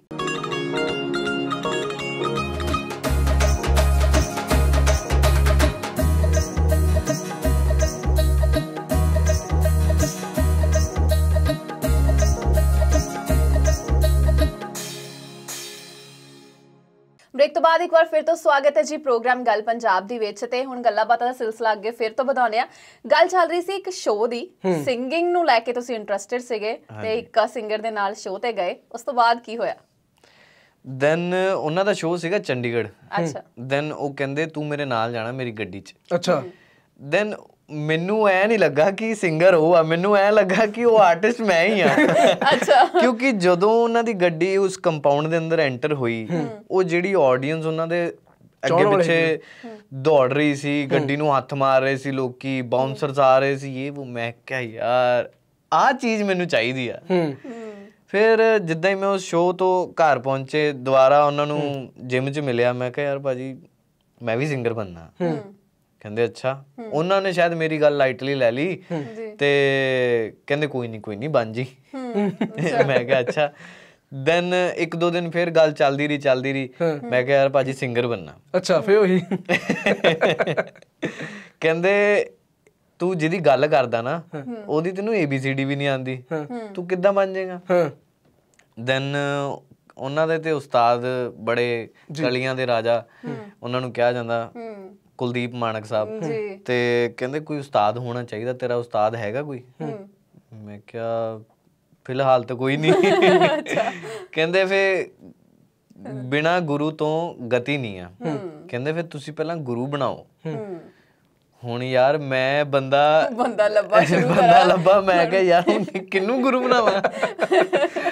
ਦੈਨ ਮੈਨੂੰ ਗੁਰੂ ਮਤਲਬ ਜਿਹੜੇ ਮੈਨੂੰ ਮਿਲੇ ਉਹਨਾਂ ਨਾਲ ਮੈਂ ਆਪਣੀ ਕੰਟੀਨਿਊ ਕੀਤੀ। ਮੈਂ ਪਹਿਲੇ ਦਿਨ ਕਲਾਸ 'ਚ ਉਹਨਾਂ ਦੀ ਗਿਆ ਮੈਂ ਕਿਹਾ ਮੈਂ ਸਿੱਖਣਾ ਰਿਆਜ਼ ਕਰਨਾ ਸਿੱਖਣਾ। ਤੇ ਕਹਿੰਦੇ ਅੱਛਾ ਜੀ ਕਹਿੰਦੇ ਕੁਝ ਪਹਿਲੇ ਕੀਤਾ? ਮੈਂ ਕਿ ਨਹੀਂ ਕੁਝ ਨਹੀਂ ਕੀਤਾ। ਉਹ ਬਹੁਤ ਜ਼ਿਆਦਾ ਸਟ੍ਰਿਕਟ ਸੀਗੇ। ਉਸ ਟਾਈਮ ਤੇ ਵੀ ਮੈਨੂੰ ਸਕੂਲ ਦੀ ਯਾਦ ਦਿਵਾਤੀ ਉਹਨਾਂ ਨੇ। ਅੱਛਾ। ਕਿਉਂਕਿ ਹਾਰਮੋਨੀਅਮ ਦਾ ਜਿੱਥੇ ਸਾ ਦਾ ਪਾ ਨੱਪਿਆ ਜਾਂਦਾ ਸੀ ਨਾ ਉੱਥੋਂ ਸਕੇਲ ਆਂਦਾ ਸੀ ਉੜਦਾ ਅੱਛਾ। ਲੱਕੜ ਦਾ ਉਹਨਾਂ ਨੇ ਸਕੇਲ ਰੱਖਿਆ ਸੀ ਠਾ ਉਂਗਲਾਂ ਦੇ ਮਾਰਦੇ ਸੀ ਜਿੱਥੇ ਉਹਨਾਂ ਦਾ ਬਟਨ ਗਲਤ ਪੈ ਗਿਆ। ਦੈਨ ਮੈਂ ਕਿਹਾ ਅੱਛਾ ਮੈਨੂੰ ਠੀਕ ਲੱਗਾ ਉੱਥੇ ਦਾ ਮਾਹੌਲ ਬੜਾ ਪੋਜ਼ਿਟਿਵ ਸੀ ਬਹੁਤ ਵਧੀਆ ਅੱਛਾ ਸੀ। ਤੇ ਇਹ ਜਿਹੜੀਆਂ ਕਲਾਸਾਂ ਇਹ ਕਿੰਨਾ ਕੁ ਦੇਰ ਚੱਲੀਆਂ ਰਹੀਆਂ? ਇਹ ਡੇਢ ਸਾਲ ਚੱਲੀਆਂ। ਅੱਛਾ। ਮੈਂ ਹੈਰਾਨ ਹੋ ਗਿਆ ਵੈਸੇ ਸੁਣ ਕੇ। ਨਹੀਂ, ਮਤਲਬ ਫਾਈਨਲੀ ਜਿਹੜਾ ਐਕਚੁਅਲੀ ਉਹਨਾਂ ਦੇ ਅੰਦਰ ਉਹ ਚੀਜ਼ ਮਿਲ ਗਈ ਸੀ ਨਾ ਕਿ ਮੈਂ ਆ ਕਰਨਾ ਆ। ਹਾਂ ਹੁਣ ਮੈਨੂੰ ਲੱਗਦਾ ਸੀ ਕਿ ਮੈਂ ਇਹ ਚੀਜ਼ ਕਰਨੀ ਆ। ਫਿਰ ਕਰਦਾ ਰਿਹਾ ਕਰਦਾ ਰਿਹਾ। ਹੁਣ ਇੱਕ ਬੰਦੇ 'ਚ ਨਾ ਈਗੋ ਬਹੁਤ ਵੱਡੀ ਪ੍ਰੋਬਲਮ ਦਿੰਦੀ ਹੈ। ਮੈਨੂੰ ਲੱਗਦਾ ਕਿ ਉਸ ਟਾਈਮ 'ਚ ਮੇਰੇ 'ਚ ਆ ਗਈ ਸੀ। ਮੈਨੂੰ ਉਹਨਾਂ ਨੇ ਕਿਹਾ ਸੀ ਉਸਤਾਦ ਜੀ ਨੇ ਕਿ ਕਹਿੰਦੇ ਕਾਕਾ ਹਜੇ 2-3 ਸਾਲ ਤਾਂ ਤੁਸੀਂ ਚੁੱਪ ਰਹੋ। ਤੁਸੀਂ ਤੁਹਾਨੂੰ ਕੱਖ ਨਹੀਂ ਆਂਦਾ ਹਜੇ। ਮਤਲਬ ਸਾਰੇ ਗਾਮਾ ਵੀ ਤੁਹਾਨੂੰ ਇੰਨਾ ਨਹੀਂ ਆਂਦਾ ਤੇ ਸਾਰੇ ਗਾਮਾ ਦੇ ਵਿੱਚ ਹੀ ਸਾਰਾ ਕੁਝ ਹੈ। ਜੀ। ਤੇ ਮੈਂ ਕਿਹਾ ਅੱਛਾ ਜੀ। ਹੂੰ। ਉਹ ਗੱਲ ਮੈਨੂੰ ਚੁੱਭ ਗਈ ਮੈਂ ਕਿਹਾ ਇਦਾਂ ਕਿੱਦਾਂ ਨਹੀਂ ਆਂਦਾ ਅੱਛਾ। ਹੁਣ ਆਪਾਂ ਤੇ ਕਰਨਾ ਹੀ ਕਰਨਾ। ਮੈਂ ਕਿਹਾ ਲੈ ਸਾਰੇ ਗਾਣੇ ਕੱਢੀ ਜਾਂਦੇ ਨੇ ਇੱਥੇ ਇੱਕ ਆਪਣਾ ਵੀ ਕੱਢ ਦਾਂਗੇ। ਦੈਨ ਮੈਂ ਉਹਨਾਂ ਤੋਂ ਅਲੱਗ ਹੋ ਗਿਆ। ਓਕੇ। ਫਿਰ ਮੈਂ ਇੱਧਰ ਉੱਧਰ ਦੇਖਾਂ ਕਿ ਯਾਰ ਆਪਾਂ ਗਾਣਾ ਕਰਨਾ ਹੁਣ ਕਰੀਏ ਕਿਤੇ ਨਾ। ਮੇਰਾ ਇੱਕ ਫਰੈਂਡ ਸੀਗਾ ਤੇ ਉਹ ਮੈਨੂੰ ਲੈ ਕੇ ਗਿਆ ਆਪਣੇ ਸੀਨੀਅਰ ਦੇ ਕੋਲ ਉਹਦਾ ਸੀਨੀਅਰ ਜਿਹਨੂੰ ਆਪਾਂ ਸੁਖੀ 뮤지컬 ਡਾਕਟਰਸ ਕਹਿੰਦੇ ਆ ਹਾਂਜੀ ਦੈਨ ਉਹਨਾਂ ਨਾਲ ਮੁਲਾਕਾਤ ਹੋਈ ਦੈਨ ਉਹਨਾਂ ਨੇ ਮੈਨੂੰ ਸਾਰਾ ਸਮਝਾਇਆ ਕਹਿੰਦੇ ਨਹੀਂ ਨਹੀਂ ਤੂੰ ਪਰਫੈਕਟ ਆ ਹੂੰ ਮੈਂ ਕਿਹਾ ਓਕੇ ਥੋੜਾ ਕੌਨਫੀਡੈਂਸ ਆਇਆ ਕਿ ਠੀਕ ਆ ਹੁਣ ਇਹਨਾਂ ਨੇ ਕਹਿਤਾ ਹੈ ਬਹੁਤ ਵ- ਵੱਡਾ ਉਸ ਟਾਈਮ ਤੇ 뮤지컬 ਡਾਕਟਰਸ ਇੱਕ ਕ- ਉਹ ਸੀਗਾ 뮤직 ਕੰਪੋਜ਼ਰ ਸੀ ਤੇ 뮤직 ਡਾਇਰੈਕਟਰ ਸੀ ਜੀ ਉਸ ਟਾਈਮ ਤੇ ਉਹ ਸਿੰਗਰ ਨਹੀਂ ਸੀ ਜੀ ਤੇ ਮੈਂ ਗਿਆ ਉਹਨਾਂ ਕੋ ਤੇ ਕਹਿੰਦੇ ਇਦਾਂ ਇਦਾਂ ਇਹ ਗਾਣਾ ਆ ਤੂੰ ਗਾਣਾ ਆ। ਹੂੰ। ਫਿਲਹਾਲ ਥੋੜਾ ਜਿਹਾ ਪੈਚ ਵਰਕ ਆਪਾਂ ਕਰ ਲੈਂਦੇ ਆ ਥੋੜਾ ਜਿਹਾ ਮੈਨੂੰ ਆਪਣੀ ਟੋਟਾ ਜੀ ਦੇ ਦੇ ਆਵਾਜ਼ ਕਿ ਇਸ ਟਾਈਪ ਦਾ ਆਪਾਂ ਕਰ ਸਕਦੇ ਆ ਫਿਰ ਮੈਂ ਸਟਾਰਟ ਕੀਤਾ ਉੱਥੇ। ਤੇ ਉਹ ਕਹਿੰਦੇ ਯਾਰ ਬਿਲਕੁਲ ਪਰਫੈਕਟ ਅੱਛਾ ਭਾਜੀ ਇੱਕ ਤਾਂ ਤੁਹਾਨੂੰ ਮੈਂ ਟੋਕਣਾ ਚਾਹੂੰਗਾ। ਉੱਥੇ ਤਾਂ ਸਟਾਰਟ ਕੀਤਾ ਇੱਥੇ ਵੀ ਥੋੜਾ ਜਿਹਾ ਸਟਾਰਟ ਹੋ ਜਾਵੇ। ਯਾਰ ਮੈਨੂੰ ਮੈਂ ਐਕਚੁਅਲੀ ਮੈਂ ਦੱਸ ਰਿਹਾ ਮੇਰੀ ਡੈਸਟੀਨੀ ਮੈਂ ਸਿੰਗਰ ਬੰਨਾ ਸੀ। ਠੀਕ ਹੈ? ਬਟ ਮੈਂ ਬਨ ਐਕਟਰ ਗਿਆ। ਉਹ ਤਾਂ ਠੀਕ ਹੈ ਮੈਨੂੰ ਪਤਾ ਆ। ਸਾਨੂੰ ਤਾਂ ਚਲੋ ਪਤਾ ਵੀ ਤੁਸੀਂ ਕੀ ਬਣਨਾ ਚਾਹੁੰਦੇ ਸੀ ਫਿਰ ਕੀ ਤੁਹਾਨੂੰ ਇਹ ਨਹੀਂ ਪਤਾ ਕਿ ਮੈਨੂੰ 4 ਸਾਲ ਹੋ ਗਏ ਨੇ ਛੱਡੀ ਨੂੰ। ਨਹੀਂ ਨਹੀਂ ਨਹੀਂ। ਚਲ ਥੋੜਾ ਪਰ ਅੰਦਰ ਹੁੰਦਾ ਹੁੰਦਾ ਨਹੀਂ ਮਤਲਬ ਜਨਤਾ ਸਾਹਮਣੇ ਤੁਸੀਂ ਮੇਰਾ ਮਜ਼ਾਕ ਉਡਾਦਾ ਓ ਚਲੋ ਦਵਿੰਦਰ ਜੀ ਹੁਣ ਦੱਸੋ ਕੀ ਕੀਤਾ ਜਾਵੇ। ਗਾਉਣਾ ਤਾਂ ਪੈਣਾ ਹੀ ਆ। ਓਹੋ ਔਖਾ ਹੋ ਜਾਣਾ। ਚਲੋ ਕੁਝ ਵੀ ਇੱਕ ਦੋ ਲਾਈਨ ਨਹੀਂ ਸਿਰਫ। ਚਲੋ ਠੀਕ ਕੋਈ ਵੀ ਜਿਹੜਾ ਗਾਣਾ ਤੁਸੀਂ ਰੋਜ਼ ਗੁੰਗਣਾਉਂਦੇ ਇੱਕ ਗਾਣਾ ਇਦਾਂ ਦਾ ਪਾਰਟਿਕੂਲਰ ਹੁੰਦਾ ਕਿ ਆਪਾਂ ਰੋਜ਼ ਗਾਉਣੇ ਤਾਂ ਹੈ। ਹਰ ਕੋਈ ਬੰਦਾ ਰੋਜ਼ ਇੱਕ ਨਾ ਇੱਕ ਗਾਣਾ ਗਾਉਂਦਾ ਇੱਕ ਮੇਰਾ ਜਿਹੜਾ ਦਿਲ ਦੇ ਬਹੁਤ ਕਰੀਬ ਹੈ। ਕਰੀਬ ਹੈ ਉਹ ਗਾ ਸਕਦੇ। ਇਰਸ਼ਾਦ। ਲੁਕਾਂ ਛੁਪੀ ਬਹੁਤ ਹੀ ਸਾਹਮਣੇ ਆ ਜਾਣਾ। कहाँ कहाँ ढूंढा तुझे? थक गई है अब तेरी माँ। आजा सांजुई तुझे मेरी कसम धुंधला गई। है मेरी नज़र, आ जाना। ਵਾਹ। ਬਹੁਤ ਸੋਹਣਾ ਗਾਇਆ ਤੁਸੀਂ। ਬਹੁਤ ਸੋਹਣਾ ਗਾਇਆ। ਮੈਨੂੰ ਲੱਗਦਾ ਕਿ ਮੇਰੇ ਥੋੜੇ ਸੋਰੇ ਹਿੱਲੇ ਪਏ ਚਲੋ ਨੇ। ਕੋਈ ਗੱਲ ਨਹੀਂ 4 ਸਾਲ ਦਾ ਫ਼ਰਕ ਪੈ ਗਿਆ ਪਰ ਹਾਂ ਇਹ ਹੈ ਕਿ ਟੋਨ ਬਹੁਤ ਸੋਹਣੀ ਹੈ। ਯੈਸ ਪਰ ਇਹ ਹੈ ਕਿ ਚੰਗਾ ਗਾ ਲੈਂਦੇ। ਮੇਰਾ ਰਿਆਜ਼ 4 ਸਾਲ ਤੋਂ ਬੰਦ ਹੈ ਯਾਰ। ਹਾਂ ਉਹੀ ਗੱਲ ਹੈ ਕਿ ਜੇ ਤੁਸੀਂ ਹੁਣ ਵੀ ਚਲੋ ਸ਼ੁਰੂ ਕਰੋ ਤਾਂ ਤੁਸੀਂ- ਹੁਣ ਵੀ ਗਾ ਸਕਦੇ ਹਾਂ ਹੋ। ਐਕਟਰ ਤਾਂ ਬਣ ਕੇ ਮੈਨੂੰ ਲੱਗਦਾ ਵੀ ਇਹ ਵੀ ਕੰਮ ਨਾਲ ਨਾਲ ਹਨਾ ਥੋੜਾ ਰੱਖੋ। ਅੱਛਾ ਚਲੋ ਫਿਰ ਤੁਸੀਂ ਉੱਥੇ ਪਹੁੰਚੇ ਤੇ ਡਿਸਾਈਡ ਕੀਤਾ ਕਿ ਮੈਂ ਹੁਣ ਇੱਕ ਗੀਤ ਕਰਨਾ ਆ ਤੇ ਫਿਰ ਫਾਈਨਲੀ ਉਸ ਤੋਂ ਬਾਅਦ ਕੀ ਹੋਇਆ? ਦੈਨ ਉਹਨਾਂ ਨੇ ਮੈਨੂੰ ਗੀਤ ਦੇ ਲਿਰਿਸਿਸ ਦਿੱਤੇ ਠੀਕ ਹੈ ਮੈਂ ਉੱਥੇ 2 ਮਹੀਨੇ ਰਿਆਜ਼ ਕੀਤਾ ਗੀਤ ਤੇ। ਮੈਨੂੰ ਐ ਲੱਗਾ ਕਿ ਯਾਰ ਇਹ ਪੰਜਾਬ ਨਾ ਕੰਪਲੀਟ ਨਹੀਂ ਹੈ ਇਸ ਗਾਣੇ ਲਈ। ਮੈਂ ਉਹ ਗਾਣਾ ਲੈ ਕੇ ਮੁੰਬਈ ਚਲਾ ਗਿਆ। ਮੈਂ ਕਿਹਾ ਇਹ ਨਹੀਂ ਨਹੀਂ ਮਤਲਬ ਗਾਣਾ ਲਿਆ ਉਸ ਤੋਂ ਬਾਅਦ ਸਿੱਧਾ ਬੰਬੇ? ਹਾਂ। ਤੇ ਪੰਜਾਬ 'ਚ ਨਹੀਂ ਕੋਈ ਲੱਭਾ? ਨਹੀਂ ਪੰਜਾਬ 'ਚ ਮੈਂ ਚਾਹੁੰਦਾ ਸੀ ਕਿ ਬਹੁਤ ਵਧੀਆ ਹਾਈ ਲੈਵਲ ਤੇ। ਕੁਝ ਆਪਾਂ ਕਰੀਏ। ਦੈਨ ਮੈਂ ਮੁੰਬਈ ਚਲਾ ਗਿਆ ਉਹ ਗਾਣਾ ਲੈ ਕੇ। ਅੱਛਾ। ਦੈਨ ਗਾਣੇ ਤੇ ਆਪਾਂ ਉੱਥੇ ਲੱਭਦੇ ਰਹੇ। ਕੋਈ ਵੱਡੇ ਵੱਡੇ ਜਿੱਦਾਂ 뮤직 ਕੰਪੋਜ਼ਰ ਆ। ਜੀ। ਠੀਕ ਹੈ ਬਟ ਐਦਾਂ ਹੁਣ ਮੁੰਬਈ ਜਾ ਕੇ ਪਤਾ ਲੱਗਾ ਕਿ ਭਾਈ ਉਹਦਾ ਡਾਇਰੈਕਟਰ ਨਹੀਂ ਮਿਲਦੇ ਕਿਸੇ ਨੂੰ। ਪਹਿਲਾਂ ਤੇ ਫਲਾਣੇ ਫਲਾਣੇ ਮਹੀਨੇ ਦੀ ਅਪਾਇੰਟਮੈਂਟ ਲੈ ਕੇ ਆਓ ਫਿਰ ਮਿਲੋ ਫਿਰ ਪਤਾ ਨਹੀਂ ਗੱਲ ਬਣੂ ਜਾਂ ਨਹੀਂ ਬਣੂ। ਐਦੇ ਦੋ ਤਿੰਨ ਦਿਨ ਹੋ ਗਏ ਮੁੰਬਈ ਤੇ ਮੇਰਾ ਜਿਹੜਾ ਫਰੈਂਡ ਨਾਲ ਸੀਗਾ ਕਹਿੰਦਾ ਯਾਰ ਤੂੰ ਇੰਨੇ ਧੱਕੇ ਖਾਈ ਜਾਂਦਾ ਉੱਥੇ ਨਾ ਫਲਾਣੀ ਫਲਾਣੀ ਜਗ੍ਹਾ ਕੋਈ ਆਡੀਸ਼ਨ ਚੱਲਦਾ ਪਿਆ।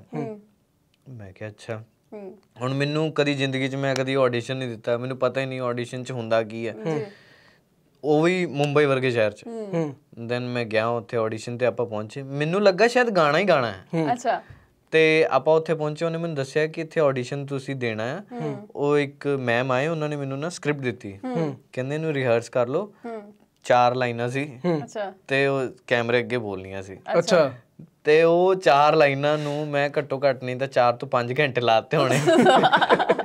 ਦੈਨ ਮੇਰੇ ਅੱਗੇ ਜਿੰਨੇ ਸੀਗੇ ਮੇਰੇ ਪਿੱਛੇ ਜਿੰਨੇ ਸੀ ਉਹ ਸਾਰੇ ਆਡੀਸ਼ਨ ਦੇ ਕੇ ਘਰ ਚਲੇ ਗਏ ਹੋਣੇ। ਤੇ ਤੁਸੀਂ ਉੱਥੇ ਹੀ? ਮੈਂ ਉੱਥੇ ਹਜੇ ਤੱਕ ਮੈਨੂੰ ਲਾਈਨਾਂ ਹੀ ਨਾ ਯਾਦ ਹੋ ਜੇ ਲਾਈਨ ਯਾਦ ਹੋ ਜੇ ਫਿਰ ਉਹ ਜਦੋਂ ਵਾਰੀ ਆਵੇ ਕਹਿੰਦੇ ਐਕਸ਼ਨ ਹਾਂ।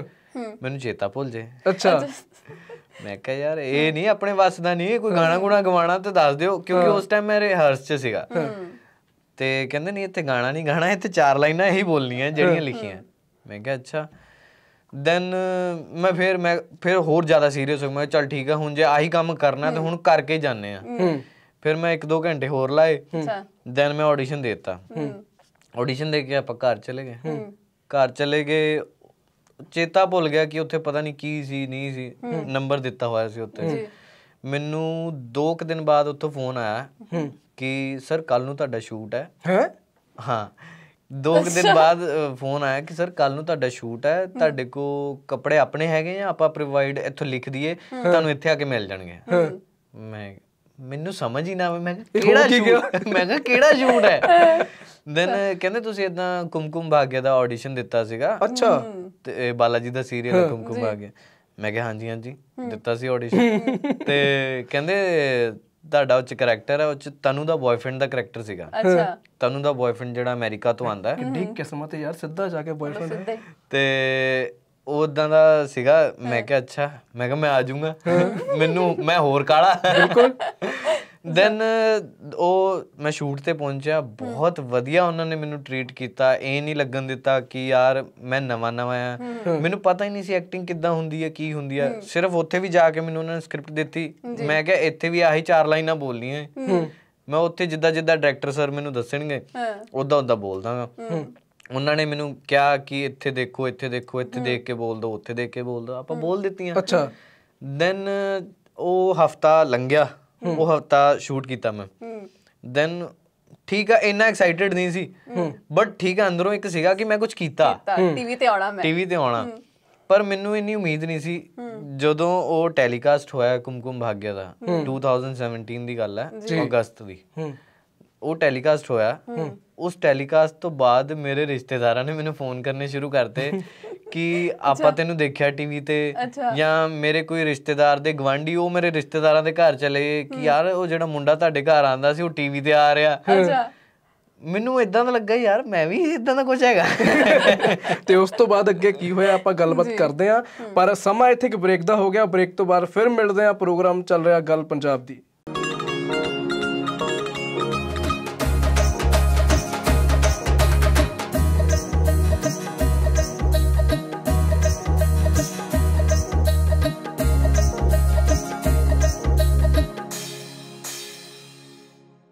ਬ੍ਰੇਕ ਤੋਂ ਬਾਅਦ ਇੱਕ ਵਾਰ ਫਿਰ ਤੋਂ ਸਵਾਗਤ ਹੈ ਜੀ ਪ੍ਰੋਗਰਾਮ ਗੱਲ ਪੰਜਾਬ ਦੇ ਵਿੱਚ ਤੇ ਹੁਣ ਗੱਲਾਂ ਜਿਹੜੀਆਂ ਥੋੜੀਆਂ ਜਿਹੀਆਂ ਅੱਗੇ ਵਧਾਉਂਦੇ ਆ ਫਾਈਨਲੀ ਜਦੋਂ ਲੋਕਾਂ ਨੇ ਤੁਹਾਨੂੰ ਟੀਵੀ ਤੇ ਦੇਖਣਾ ਸ਼ੁਰੂ ਕਰ ਦਿੱਤਾ ਤੇ ਮਤਲਬ ਸੋਚਿਆ ਨਹੀਂ ਸੀ ਫਿਰ ਐਕਟਰ ਬਣ ਗਏ ਬਿਨਾਂ ਸੋਚੇ ਤੋਂ ਬਿਨਾਂ ਆਡੀਸ਼ਨ ਮਤਲਬ ਉਹ ਜਿਹੜਾ ਉਸ ਲੈਵਲ ਦਾ ਆਡੀਸ਼ਨ ਕਲੀਅਰ ਕੀਤੇ ਤੋਂ। ਉਸ ਤੋਂ ਬਾਅਦ ਫਿਰ ਅੱਗੇ ਦਾ ਸਿਲਸਿਲਾ ਕੀ ਬਣਿਆ? ਅੱਗੇ ਮੈਨੂੰ ਇਦਾਂ ਲੱਗ ਰਿਹਾ ਸੀ ਕਿ ਹੁਣ ਮੇਰੀ ਲਾਈਫ ਸੈੱਟ ਆ ਹੁਣ ਮੇਰੀ ਲਾਈਫ ਬਹੁਤ ਜ਼ਿਆਦਾ ਆਸਾਨ ਹੋ ਗਈ ਹੈ। ਕਿਉਂਕਿ ਹੁਣ ਮੈਂ ਇਹ ਕਰ ਲਿਆ ਇਦਾਂ ਮੈਨੂੰ ਅੱਗੇ ਵੀ ਮਿਲ ਸਕਦਾ ਹਨਾ? ਆਪਾਂ ਹੁਣ ਤੇ ਆਡੀਸ਼ਨ ਦਾ ਪਤਾ ਲੱਗ ਗਿਆ ਕਿ ਹੁਣ ਕਿੱਦਾਂ ਦੇਣਾ। ਠੀਕ ਹੈ? ਹੁਣ ਬਟ ਉਹ ਮੇਰੀ ਗਲਤ ਫਹਿਮੀ ਸੀ। ਅੱਛਾ। ਕਿਉਂਕਿ ਇਦਾਂ ਹੁੰਦਾ ਨਹੀਂ ਹੈ। ਕਿਉਂਕਿ ਕਿਹਾ ਜਾਂਦਾ ਹੈ ਕਿ ਜਦ ਤੱਕ ਤੁਹਾਨੂੰ ਉਸ ਚੀਜ਼ ਬਾਰੇ ਇਨਫੋਰਮੇਸ਼ਨ ਨਹੀਂ ਹੈਗੀ ਕਿ ਤੁਹਾਨੂੰ ਪਤਾ ਹੀ ਨਹੀਂ ਹੈ ਕਿ ABCD ਸਟਾਰਟ ਕਿੱਦਾਂ ਹੁੰਦੀ ਤੁਸੀਂ ਵਰਡਸ ਕਿੱਦਾਂ ਬਣਾਓਗੇ। ਹੂੰ। ਫਿਰ ਮੈਂ ਹੌਲੀ ਹੌਲੀ ਉਸ ਤੋਂ ਬਾਅਦ ਮੈਂ ਆਡੀਸ਼ਨ ਦੇਣੇ ਸਟਾਰਟ ਕੀਤੇ। ਪਰ ਹੋਇਆ ਉਲਟਾ। ਉਦੋਂ ਮੈਨੂੰ ਕੰਮ ਹੀ ਨਹੀਂ ਮਿਲਿਆ। ਅੱਛਾ। ਅੱਛਾ। ਮੈਂ ਕਿਹਾ ਯਾਰ ਇਹ ਕੀ ਹੋਈ ਜਾਂਦਾ ਹੈ? ਸੋਚਿਆ ਯਾਰ ਕੁਝ ਹੋਰ ਸੀ ਤੇ ਹੋ ਕੁਝ ਹੋਰ ਗਿਆ। ਹਾਂ ਫਿਰ ਨਾ ਮੈਂ ਬੜਾ ਮਾਯੂਸ ਜਿਹਾ ਹੋ ਗਿਆ। ਮੈਂ ਘਰ ਫੋਨ ਕੀਤਾ ਯਾਰ ਮੈਂ ਕਿਹਾ ਯਾਰ ਮੈਂ ਵਾਪਸ ਆ ਜਾਣਾ। ਇੱਥੇ ਕੁਝ ਬੰਦਾ ਨਹੀਂ ਪਿਆ ਮੇਰਾ। ਮੁੰਬਈ ਵਰਗਾ ਸ਼ਹਿਰ ਮੈਂ ਕੱਲਾ ਹੋ ਗਿਆ ਸੀ ਜਿੱਦਾਂ ਇੱਕ ਹਿਸਾਬ ਦਾ ਨਾ। ਮੈਂ ਰਹਿੰਦਾ ਵੀ ਉੱਥੇ ਕੱਲਾ ਸੀ ਆਪਣੇ ਅਪਾਰਟਮੈਂਟ 'ਚ। ਮੈਂ ਕਿਸੇ ਨੂੰ ਨਾਲ ਵੀ ਨਹੀਂ ਸੀ ਰੱਖਿਆ ਜਾਂ ਮੈਂ ਕਿਸੇ ਦੇ ਨਾਲ ਵੀ ਨਹੀਂ ਸੀ ਰਹਿ ਰਿਹਾ। ਅੱਛਾ। ਮੈਂ ਕੱਲਾ ਹੀ ਰਹਿੰਦਾ ਸੀ। ਹੂੰ। ਦੈਨ ਮੈਂ ਸਾਈਂ ਜੀ ਨੂੰ ਬਹੁਤ ਜ਼ਿਆਦਾ ਮੰਨਦਾ ਹਾਂ। ਆਪਣੇ ਲਾਡੀ ਸਾਈਂ ਜੀ। ਜੀ। ਤੇ ਮੈਂ ਇਦਾਂ ਹੀ ਉੱਥੇ ਮੈਂ ਬੁਲਟ ਮੰਗਾ ਲਿਆ ਸੀ ਆਪਣਾ। ਅੱਛਾ। ਉੱਥੇ ਮੈਂ ਬੁਲਟ ਤੋਂ ਘਰ ਜਾ ਰਿਹਾ ਤੇ ਨਾ ਦਿਲ 'ਚ ਗੱਲ ਚੱਲ ਰਹੀ ਮੇਰੇ। ਹੂੰ। ਕਿ ਯਾਰ ਹੁਣ ਮੇਰਾ ਕੀ ਹੋਊਗਾ? ਹੁਣ ਮੇਰਾ ਇੱਥੇ ਕੁਝ ਬਣੂਗਾ ਜਾਂ ਨਹੀਂ ਬਣੂਗਾ? ਮੈਂ ਦਿਲ 'ਚ ਗੱਲਾਂ ਕਰ ਰਿਹਾ ਕਿ ਜੇ ਤਾਂ ਬੰਨਾ ਆ ਤਾਂ ਮੈਨੂੰ ਕੋਈ ਇਸ਼ਾਰਾ ਦਿਓ ਤੇ ਇੱਥੇ ਰੱਖ ਲਓ। ਨਹੀਂ ਤਾਂ ਮੈਂ ਘਰ ਜਾਵਾਂ ਆਪਣਾ ਬੋਰੀਆ ਬਿਸਤਰਾ ਪੈਕ ਕਰਾਂ। ਜੀ। ਦੈਨ ਮੈਂ ਜਾ ਰਿਹਾ ਇੱਕ ਟ੍ਰੈਫਿਕ ਸਿਗਨਲ ਤੇ ਉੱਥੇ ਖੜਾ ਮੈਂ। ਮੈਨੂੰ ਅੱਜ ਵੀ ਉਹ ਗੱਡੀ ਯਾਦ ਹੈ ਮੈਰੂਨ ਰੰਗ ਦੀ ਗੱਡੀ ਮੇਰੇ ਅੱਗੇ ਅੱਗੇ ਜਾ ਰਹੀ ਸੀ। ਜਿਹਦੇ ਪਿੱਛੇ ਲਿਖਿਆ ਹੋਇਆ ਸੀ ਸਾਇੰਸ ਸਰਵਿਸ ਇੱਧਰ ਖੱਬੇ ਪਾਸੇ ਦੇ ਸ਼ੀਸ਼ੇ ਤੇ। ਅੱਛਾ। ਤੇ ਉਹਦੇ ਪਿੱਛੇ ਇੱਕ ਸਲੋਗਨ ਲਿਖਿਆ ਹੋਇਆ ਸੀ ਜੀ। ਕਿ ਤੁਸੀਂ ਜਿੱਦਾਂ ਦਾ ਸੋਚੋਗੇ ਤੁਹਾਡੇ ਨਾਲ ਉਹੀ ਹੋਣਾ ਹੈ। ਹੂੰ। ਦੈਨ ਉਹ ਗੱਲ ਮੈਂ ਕਿਉਂਕਿ ਮੈਂ ਸਵਾਲ ਕਰ ਰਿਹਾ ਸੀ ਰੱਬ ਕੋਲੋਂ। ਹੁਣ ਰੱਬ ਨੇ ਆਪ ਤੇ ਥੱਲੇ ਆਣਾ ਨਹੀਂ। ਬਟ ਉਹਨਾਂ ਨੇ ਸ਼ਾਇਦ ਮੈਨੂੰ ਉਸ। ਉਸ ਰਾਹੀਂ ਉਸ ਗੱਲ ਦਾ ਜਵਾਬ ਦੇ ਦਿੱਤਾ। ਹਾਂ। ਫਿਰ ਮੈਂ ਆਪਣੀ ਜਰਨੀ ਉੱਥੇ ਕੰਟੀਨਿਊ ਕੀਤੀ। ਮੈਂ ਕਿਹਾ ਯਾਰ ਹੁਣ ਤੇ ਮੈਂ ਇੱਥੇ ਰਹਿਣਾ ਹੀ ਰਹਿਣਾ ਜਿਹੜੀ ਚੀਜ਼ ਨਹੀਂ ਬਣਦੀ ਆਪਾਂ ਮਿਹਨਤ ਕਰਾਂਗੇ। ਬਿਲਕੁਲ। ਆਪਾਂ ਅੱਗੇ ਜਾਵਾਂਗੇ ਕਿਉਂ ਨੇ। ਫਿਰ ਮੈਂ ਉੱਥੇ ਰਿਹਾ ਫਿਰ ਹੌਲੀ ਹੌਲੀ ਮੈਨੂੰ ਸਮਝ ਆਈ ਕਿ ਆਪਾਂ ਕਿੱਦਾਂ ਕਿੱਥੇ ਜਾਣਾ ਹੈ। ਕਿੱਦਾਂ ਕਿਹਨੂੰ ਮਿਲਣਾ ਹੈ ਕਿੱਦਾਂ ਆਡੀਸ਼ਨਸ ਕ੍ਰੈਕ ਕਰਨੇ ਆ। ਫਿਰ ਇਦਾਂ ਹੀ ਹੌਲੀ ਹੌਲੀ ਮੈਨੂੰ ਰੋਲ ਮਿਲਦੇ ਰਹੇ ਛੋਟੇ ਛੋਟੇ ਜਿੱਦਾਂ ਇੱਕ ਮੈਂ ਕੀਤਾ ਸੀ ਪਰਦੇਸ ਮੇ ਮੇਰਾ ਦਿਲ ਉਹ ਚ ਮੈਂ ਇੱਕ ਰਿਪੋਰਟਰ ਦਾ ਰੋਲ ਕੀਤਾ ਸੀ। ਜੀ। ਫਿਰ ਉਸ ਤੋਂ ਬਾਅਦ ਚ ਮੈਂ ਪਰਫੈਕਟ ਪਤੀ ਕੀਤਾ। ਉਹਦੇ ਵਿੱਚ ਜਿਹੜਾ ਛੋਟਾ ਦੇਵਰ ਹੁੰਦਾ ਉਹ ਮੈਂ ਸੀਗਾ। ਜੀ। ਫਿਰ ਉਸ ਤੋਂ ਬਾਅਦ ਮੈਂ ਇੰਟਰਨੈਟ ਵਾਲਾ ਲਵ ਕੀਤਾ ਸੀ ਕਲਰਸ ਟੀਵੀ ਤੇ ਆਂਦਾ ਸੀ। ਹੂੰ। ਉਹ ਚ ਵੀ ਐਜ਼ ਅ ਮੈਨੇਜਰ ਸੀਗਾ ਰਾਜੀਵ। ਜੀ। ਤੇ ਫਿਰ ਉਸ ਟਾਈਮ ਤੋਂ ਬਾਅਦ ਕਾਫੀ 1.5 ਸਾਲ ਦੀ ਬ੍ਰੇਕ ਲੱਗੀ। ਹੂੰ। ਮੈਨੂੰ ਕਿਉਂਕਿ ਇਦਾਂ ਲੱਗਾ ਯਾਰ ਮੈਂ ਛੋਟੇ ਛੋਟੇ ਕਿੰਨੇ ਕੁ ਕਰ ਲਾਂਗਾ। ਕਿੰਨੇ ਕਿੰਨੇ ਕ ਦਿਨ ਦੇ ਕੈਰੈਕਟਰਸ ਹੁੰਦੇ ਸੀਗੇ ਉਹ? 4 days 5 days okay minimum 4 days ਜੀ ਜੀ। ਤੇ ਫਿਰ ਮੈਂ ਕਿਹਾ ਯਾਰ ਛੋਟੇ ਛੋਟੇ ਕਿੰਨੇ ਕੁ ਕਰ ਲਾਂਗਾ। ਹੂੰ। ਦੈਨ ਕੁਝ ਠੋਸ ਚਾਹੀਦਾ ਸੀ ਕਿ ਲੋਕੀ ਵੀ ਮੈਨੂੰ ਜਾਣਨ ਕੌਣ ਹੈ। ਦੈਨ ਉਸ ਚੀਜ਼ ਨੂੰ ਪਾਣ ਲਈ ਮੈਨੂੰ 1 ਸਾਲ ਲੱਗਾ। ਅੱਛਾ। ਦੈਨ ਮੈਂ ਆਡੀਸ਼ਨ ਦਿੰਦਾ ਰਿਹਾ ਦਿੰਦਾ ਰਿਹਾ ਦਿੰਦਾ ਰਿਹਾ। ਹਰ ਕੋਈ ਪੁੱਛਦਾ ਸੀ ਕਿ ਤੇਰੀ ਕੀ ਗੱਲ ਨਹੀਂ ਬਣੀ ਕੋਈ ਆਇਆ ਨਹੀਂ ਪਹਿਲਾਂ ਤਾਂ ਤੂੰ ਆਂਦਾ ਸੀ। ਟੀਵੀ ਤੇ ਹੁਣ ਤੂੰ ਟੀਵੀ ਤੇ ਨਹੀਂ ਤੇ ਦੱਸਦਾ। ਉਸ 1 ਸਾਲ ਦੌਰਾਨ ਕੀ ਕੁਝ ਕੀਤਾ? ਉਸ 1 ਸਾਲ ਦੌਰਾਨ ਮੈਂ ਆਪਣੇ ਆਪ ਤੇ ਕੰਮ ਕੀਤਾ ਜਿੱਦਾਂ ਮੈਂ ਆਪਣੀ ਬਾਡੀ ਤੇ ਵਰਕ ਕੀਤਾ। ਠੀਕ ਹੈ। ਆਪਣੀ ਵੋਕੈਬਲਰੀ ਤੇ ਵਰਕ ਕੀਤਾ ਕਿਉਂਕਿ ਆਪਾਂ ਪੰਜਾਬ ਦੇ ਬੌਨ ਆ। ਆਪਾਂ ਮੁੰਬਈ ਦੇ ਵਿੱਚ ਸੈੱਟ ਨਹੀਂ ਹੋ ਸਕਦੇ ਕਿਉਂ? ਕਿਉਂਕਿ ਉੱਥੇ ਹਿੰਦੀ ਬਹੁਤ ਜ਼ਿਆਦਾ ਫਲੂਐਂਟ ਹੈ। ਉਹ ਇਦਾਂ ਦੀ ਫਲੂਐਂਟ ਹਿੰਦੀ ਬੋਲਣਾ ਉੱਥੇ ਥੋੜਾ ਜਿਹਾ ਔਖਾ ਆ। ਬਹੁਤ ਜ਼ਿਆਦਾ ਨਹੀਂ ਬਟ ਥੋੜਾ ਜਿਹਾ ਔਖਾ ਆ। ਉਹ ਲੋਕੀ ਝੱਟ ਪਛਾਣ ਲੈਂਦੇ ਆ ਕਿ ਤੁਸੀਂ ਪੰਜਾਬ ਤੋਂ ਹੂੰ। ਬਿਲਕੁਲ। ਪੰਜਾਬੀ ਟੱਚ ਆ ਜਾਂਦਾ पंजाबी टच आ जाना तो हमसे टापा जाता है ਜਾਂ ਨਹੀਂ ਜਾਤਾ ਹੈ ਨਾ ਲਾਂਘਾ ਜਾਤਾ ਨਾ ਲਾਂਘਾ ਜਾਤਾ ਹੈ ਤੇ ਇਹ ਵਾਲੀਆਂ ਗੱਲਾਂ ਥੋੜੀਆਂ ਜੀਆਂ ਆ ਜਾਂਦੀਆਂ ਫਿਰ ਮੈਂ ਉਸ ਤੇ ਵਰਕ ਕੀਤਾ ਦੈਨ ਹੌਲੀ ਹੌਲੀ ਫਿਰ 2020 ਦੀ ਗੱਲ ਹੈ ਕਿ ਮੈਂ ਅਲਾਦੀਨ ਕੀਤਾ ਓਕੇ ਅਲਾਦੀਨ ਚ ਅਲਾਦੀਨ ਦਾ ਬੈਸਟ ਫਰੈਂਡ ਹੁੰਦਾ ਸ਼ਿਰਾਜ਼ ਜੀ ਉਹਦਾ ਕੈਰੈਕਟਰ ਸੀਗਾ ਦੈਨ ਆਈ ਥਿੰਕ ਕਿ ਇਹ ਮੇਰਾ ਲਾਈਫ ਚੇਂਜਿੰਗ ਪੁਆਇੰਟ ਸੀਗਾ ਮੇਰੀ ਲਾਈਫ 'ਚ। ਕਿਉਂਕਿ ਅਲਾਦੀਨ ਤੋਂ ਬਾਅਦ ਮੈਂ ਉਹ ਹੁਣ ਤੱਕ ਕਿਉਂਕਿ ਮੈਂ ਬੰਬੇ 'ਚ ਰਹਿ ਚੁੱਕਾ। ਹਨਾ? ਮੇਰੇ ਲਈ ਇਹ ਚੀਜ਼ਾਂ ਹੁਣ ਨਾਰਮਲ ਹੋ ਗਈਆਂ। ਕੁਝ ਵੱਡਾ ਸਟਾਰ ਦੇਖਣਾ ਜਾਂ ਕਿਸੇ ਵੱਡੇ ਸਟਾਰ ਦੇ ਨਾਲ ਗੱਲ ਕਰਨੀ ਮੇਰੇ ਲਈ ਹੁਣ ਨਾਰਮਲ ਹੋ ਗਿਆ। ਜੀ। ਬਟ ਇਹ ਨਾਰਮਲ ਨਹੀਂ ਸੀ ਹੋਇਆ। ਮੈਂ ਇੱਕ ਵਾਰੀ ਗਿਆ ਬੈਂਡਰਾ ਮਾਰਕੀਟ ਸ਼ਾਪਿੰਗ ਲਈ ਗਿਆ ਸੀਗਾ। ਜੀ। ਦੈਨ ਉੱਤੇ ਛੋਟੇ ਛੋਟੇ ਬੱਚੇ ਸੀ। ਉਹਨਾਂ ਨੇ ਆਪਣੇ ਮੰਮੀ ਪਾਪਾ ਨੂੰ ਕਿਹਾ ਕਿ ਉਹ ਅਲਾਦੀਨ ਚਾਹੁੰਦਾ ਹੈ। ਅੱਛਾ। ਦੈਨ ਉਸ ਫੈਮਿਲੀ ਨੇ ਮੇਰੇ ਨਾਲ ਫੋਟੋਜ਼ ਕਰਵਾਈਆਂ ਇਹ ਉਹ। ਦੈਨ ਮੈਨੂੰ ਬੜਾ ਆਪਣੇ ਆਪ ਤੇ ਮੈਂ ਕਿਹਾ ਯਾਰ ਹੁਣ ਮੈਂ ਕੁਝ ਕੀਤਾ ਹੈ। ਕਿਉਂਕਿ ਅਲਾਦੀਨ ਜਿਹੜਾ ਇੱਕ ਕੈਰੈਕਟਰ ਮਤਲਬ ਸੀਰੀਅਲ ਵੀ ਕਹਿ ਸਕਦੇ ਆ ਉਹ ਬੱਚਿਆਂ ਦਾ ਬੜਾ ਫੇਵਰੇਟ ਬੱਚਿਆਂ ਦਾ ਹੈ। ਤੇ ਫਿਰ ਬੱਚੇ ਜਦੋਂ ਕਲਿੱਕ ਕਰ ਜਾਂਦੇ ਆ ਕਿਸੇ ਬੰਦੇ ਨੂੰ ਜਾਂ ਫੈਨ ਹੋ ਜਾਂਦੇ ਆ ਤਾਂ ਫਿਰ ਉਹ ਪਛਾਣ ਲੈਂਦੇ। ਕਿਉਂਕਿ ਬੰਬੇ ਕਲਚਰ ਹੈ ਮੈਂ ਦੇਖਿਆ ਕਿ ਜਿੰਨੇ ਵੀ ਆਰਟਿਸਟ ਨੇ ਕਿਉਂਕਿ ਇੱਥੇ ਦੀ ਲਾਈਫ ਥੋੜੀ ਹੋਰ ਹੈ ਪੰਜਾਬ ਦੀ। ਤੁਸੀਂ ਕੋਈ ਆਰਟਿਸਟ ਦੇਖਦੇ ਹੋ ਤਾਂ ਪਿੱਛੇ ਪੈ ਜਾਂਦੇ ਹੋ ਹਾਂਜੀ ਫੋਟੋ ਕਰਾ ਲਓ ਇਦਾਂ ਉਦਾਂ ਉਹ ਦੇਖੋ ਉਹ ਵਾਲਾ ਆਰਟਿਸਟ ਜਾ ਰਿਹਾ। ਬੰਬੇ ਇਦਾਂ ਨਹੀਂ ਆ ਉੱਥੇ ਆਰਟਿਸਟ ਆਮ ਆਪਣੀ ਜ਼ਿੰਦਗੀ ਵੀ ਜੀ ਰਹੇ ਨੇ ਨਾਲੋਂ ਨਾਲ ਹਨਾ? ਤੇ ਬਾਈ ਜੀ ਜਦੋਂ ਉਹਨਾਂ ਬੱਚਿਆਂ ਨੇ ਸਾਰੀ ਫੈਮਿਲੀ ਨੇ ਫੋਟੋਜ਼ ਖਿਚਾਈਆਂ। ਉਸ ਤੋਂ ਬਾਅਦ ਫੇਰ ਘਰੇ ਫੋਨ ਕਰਕੇ ਖੁਸ਼ੀ ਸਾਂਝੀ ਕੀਤੀ ਪਰਿਵਾਰ ਦੇ ਨਾਲ। ਬਿਲਕੁਲ ਮੈਂ ਮੰਮੀ ਨੂੰ ਕਿਹਾ ਐਕਚੁਅਲੀ ਇਹ ਸੀਨ ਤੋਂ ਪਹਿਲਾਂ ਇਹੀ ਫੋਟੋਜ਼ ਵਾਲਾ ਸੀਨ ਮੇਰੇ ਨਾਲ ਪਰਫੈਕਟ ਪਤੀ ਚ ਹੋਇਆ ਸੀ। ਪਰਫੈਕਟ ਪਤੀ ਚ ਮੇਰੀ ਜਿਹੜੀ ਦਾਦੀ ਸੀ ਉਹ ਹੈ ਜਾਇਆ ਬਹਾਦੁਰੀ। ਜੀ। ਤੇ ਉਹ ਮੇਰੀ ਮੰਮੀ ਦੀ ਬੜੀ ਫੇਵਰੇਟ ਸੀ। ਅੱਛਾ। ਕਿਉਂਕਿ ਉਹ ਮੈਂ ਪਰਫੈਕਟ ਪਤੀ ਇੱਕ ਡੇਢ ਮਹੀਨੇ ਕੀਤਾ ਐਜ਼ ਅ ਛੋਟਾ ਦੇਵਰ ਦਵਿੰਦਰ ਮੇਰਾ ਨਾਮ ਸੀ ਉਹਦੇ ਚ। ਹੈ? ਦੁਬਾਰਾ ਬੋਲਿਓ। ਦਵਿੰਦਰ ਮੇਰਾ ਨਾਮ ਸੀ। ਤੇ ਨਾ ਉਹ ਜਦੋਂ ਕੀਤਾ ਉਹ ਸਾਨੂੰ ਨਾ ਹਮੇਸ਼ਾ ਦੱਸਦੇ ਸੀਗੇ ਕਿ ਅੱਜ ਮੈਡਮ ਨੇ ਆਣਾ ਨਹੀਂ ਇਹਨਾਂ ਦਾ ਡੁਪਲੀਕੇਟ ਜਿਹਨੂੰ ਆਪਾਂ ਆਪਣੀ ਇੰਡਸਟਰੀ ਦੀ ਲੈਂਗੁਏਜ ਡਿਊਪ ਕਹਿੰਦੇ ਆ ਕਿ ਡਿਊਪ ਨੇ ਤੁਹਾਡੇ ਨਾਲ ਲਾਈਨਾਂ ਕਰ ਲੈਣੀਆਂ।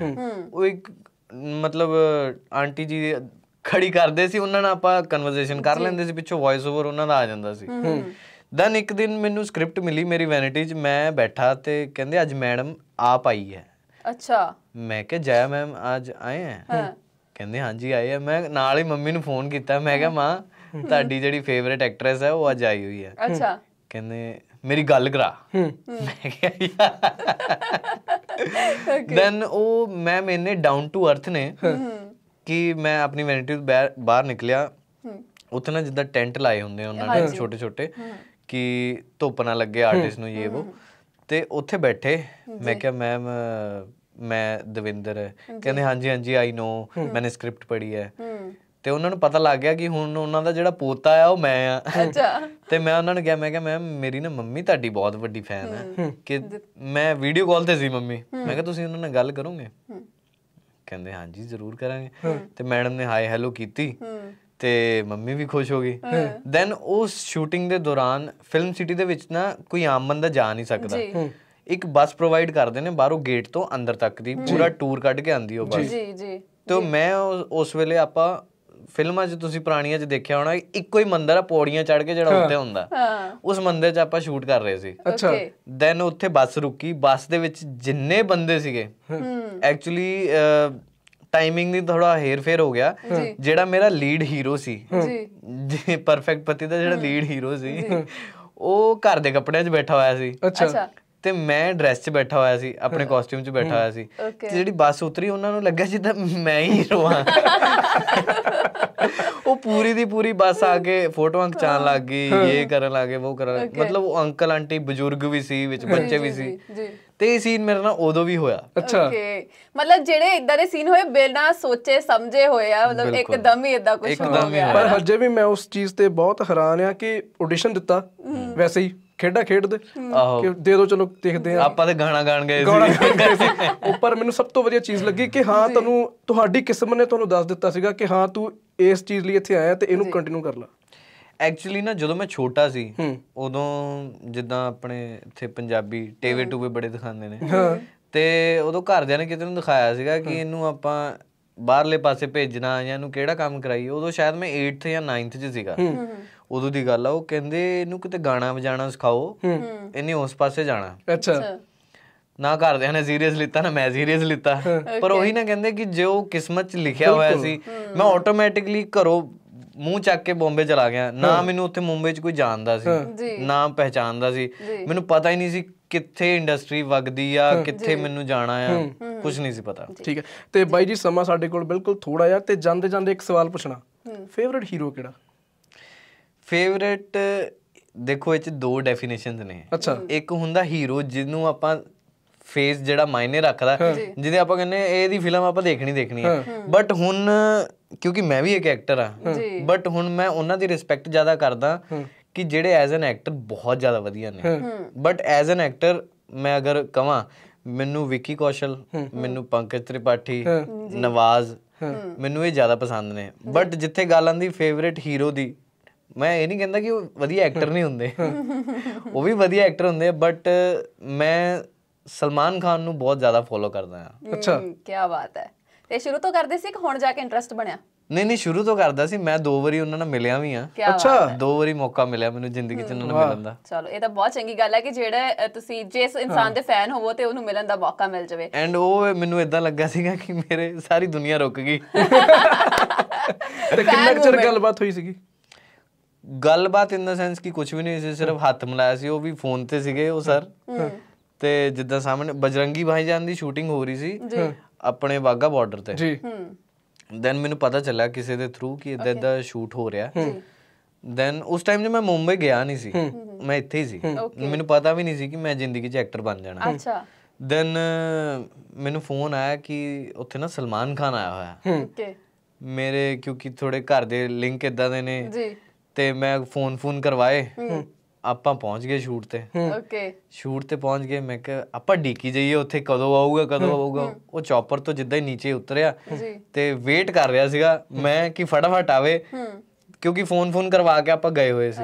ਦੈਨ ਆਪਾਂ ਗਏ ਉੱਥੇ ਤੇ ਉਹ ਨੀਚੇ ਉਤਰ ਕੇ ਆ ਰਿਹਾ। ਦੈਨ ਫਿਰ ਮੈਂ ਉਹਨਾਂ ਨਾਲ ਹੱਥ ਮਿਲਾਇਆ ਜੀ। ਤੇ ਨਾਲੇ ਹੱਥ ਮਿਲਾ ਕੇ ਉਹ ਅੱਗੇ ਚਲੇ ਗਏ। ਓਕੇ ਪਰ ਚਲੋ ਫਿਰ ਵੀ ਮਿਲ ਲਿਆ ਹਨਾ? ਸੋ ਆਸ ਕਰਦੇ ਹਾਂ ਕਿ ਜਲਦੀ ਤੁਹਾਨੂੰ ਉਹਨਾਂ ਦੇ ਨਾਲ ਕੰਮ ਕਰਨ ਦਾ ਵੀ ਮੌਕਾ ਮਿਲੇ ਬਿਲਕੁਲ, ਹਨਾ? ਬਿਲਕੁਲ। ਸੋ ਇਸੇ ਦੇ ਨਾਲ ਹੀ ਹੁਣ ਆਪਾਂ ਇਹ ਪ੍ਰੋਗਰਾਮ ਇੱਥੇ ਹੀ ਖਤਮ ਕਰਦੇ ਹਾਂ ਕਿਉਂਕਿ ਸਮਾਂ ਸਾਡੇ ਕੋਲੋਂ ਬਹੁਤ ਹੀ ਥੋੜਾ ਰਹਿ ਚੁੱਕਿਆ ਆ। ਸੋ ਬਹੁਤ ਬਹੁਤ ਧੰਨਵਾਦ ਤੁਸੀਂ ਇੱਥੇ ਆਏ ਔਰ ਇੰਨੀਆਂ ਚੰਗੀਆਂ ਗੱਲਾਂ ਬਾਤਾਂ ਕੀਤੀਆਂ। ਜੀ। ਸੋ ਇਸੇ ਦੇ ਨਾਲ ਹੀ ਇਹ ਪ੍ਰੋਗਰਾਮ ਇੱਥੇ ਹੀ ਖਤਮ ਹੁੰਦਾ ਹੈ। ਅਗਲੇ ਐਪੀਸੋਡ ਦੇ ਵਿੱਚ ਇੱਕ ਵਾਰ ਫਿਰ ਤੋਂ ਮੁਲਾਕਾਤ ਹੋਵੇਗੀ। ਉਦੋਂ ਤੱਕ ਦੇ ਲਈ ਤੁਸੀਂ ਸਾਡਾ ਪ੍ਰੋਗਰਾਮ ਤਾਂ ਦੇਖਣਾ ਹੀ ਹੈ। ਨਾਲ ਹੀ ਨਾਲ ਪੰਜਾਬੀ ਨੈਸ਼ਨਲ ਟੀਵੀ ਦਾ ਫੇਸਬੁੱਕ ਪੇਜ ਤੇ YouTube ਚੈਨਲ ਵੀ ਲਾਈਕ ਕਰ। ਦੇਣਾ ਮੈਨੂੰ ਯਾਨੀ ਕਿ ਪੂਜਾ ਸੰਧੂ ਤੇ ਦਵਿੰਦਰ ਮਾਨ ਜੀ ਨੂੰ ਦਿਓ ਇਜਾਜ਼ਤ। ਸਤਿ ਸ਼੍ਰੀ। ਅਕਾਲ। ਦੇਖਦੇ ਰਹੋ ਪੰਜਾਬੀ ਨੈਸ਼ਨਲ ਟੀਵੀ।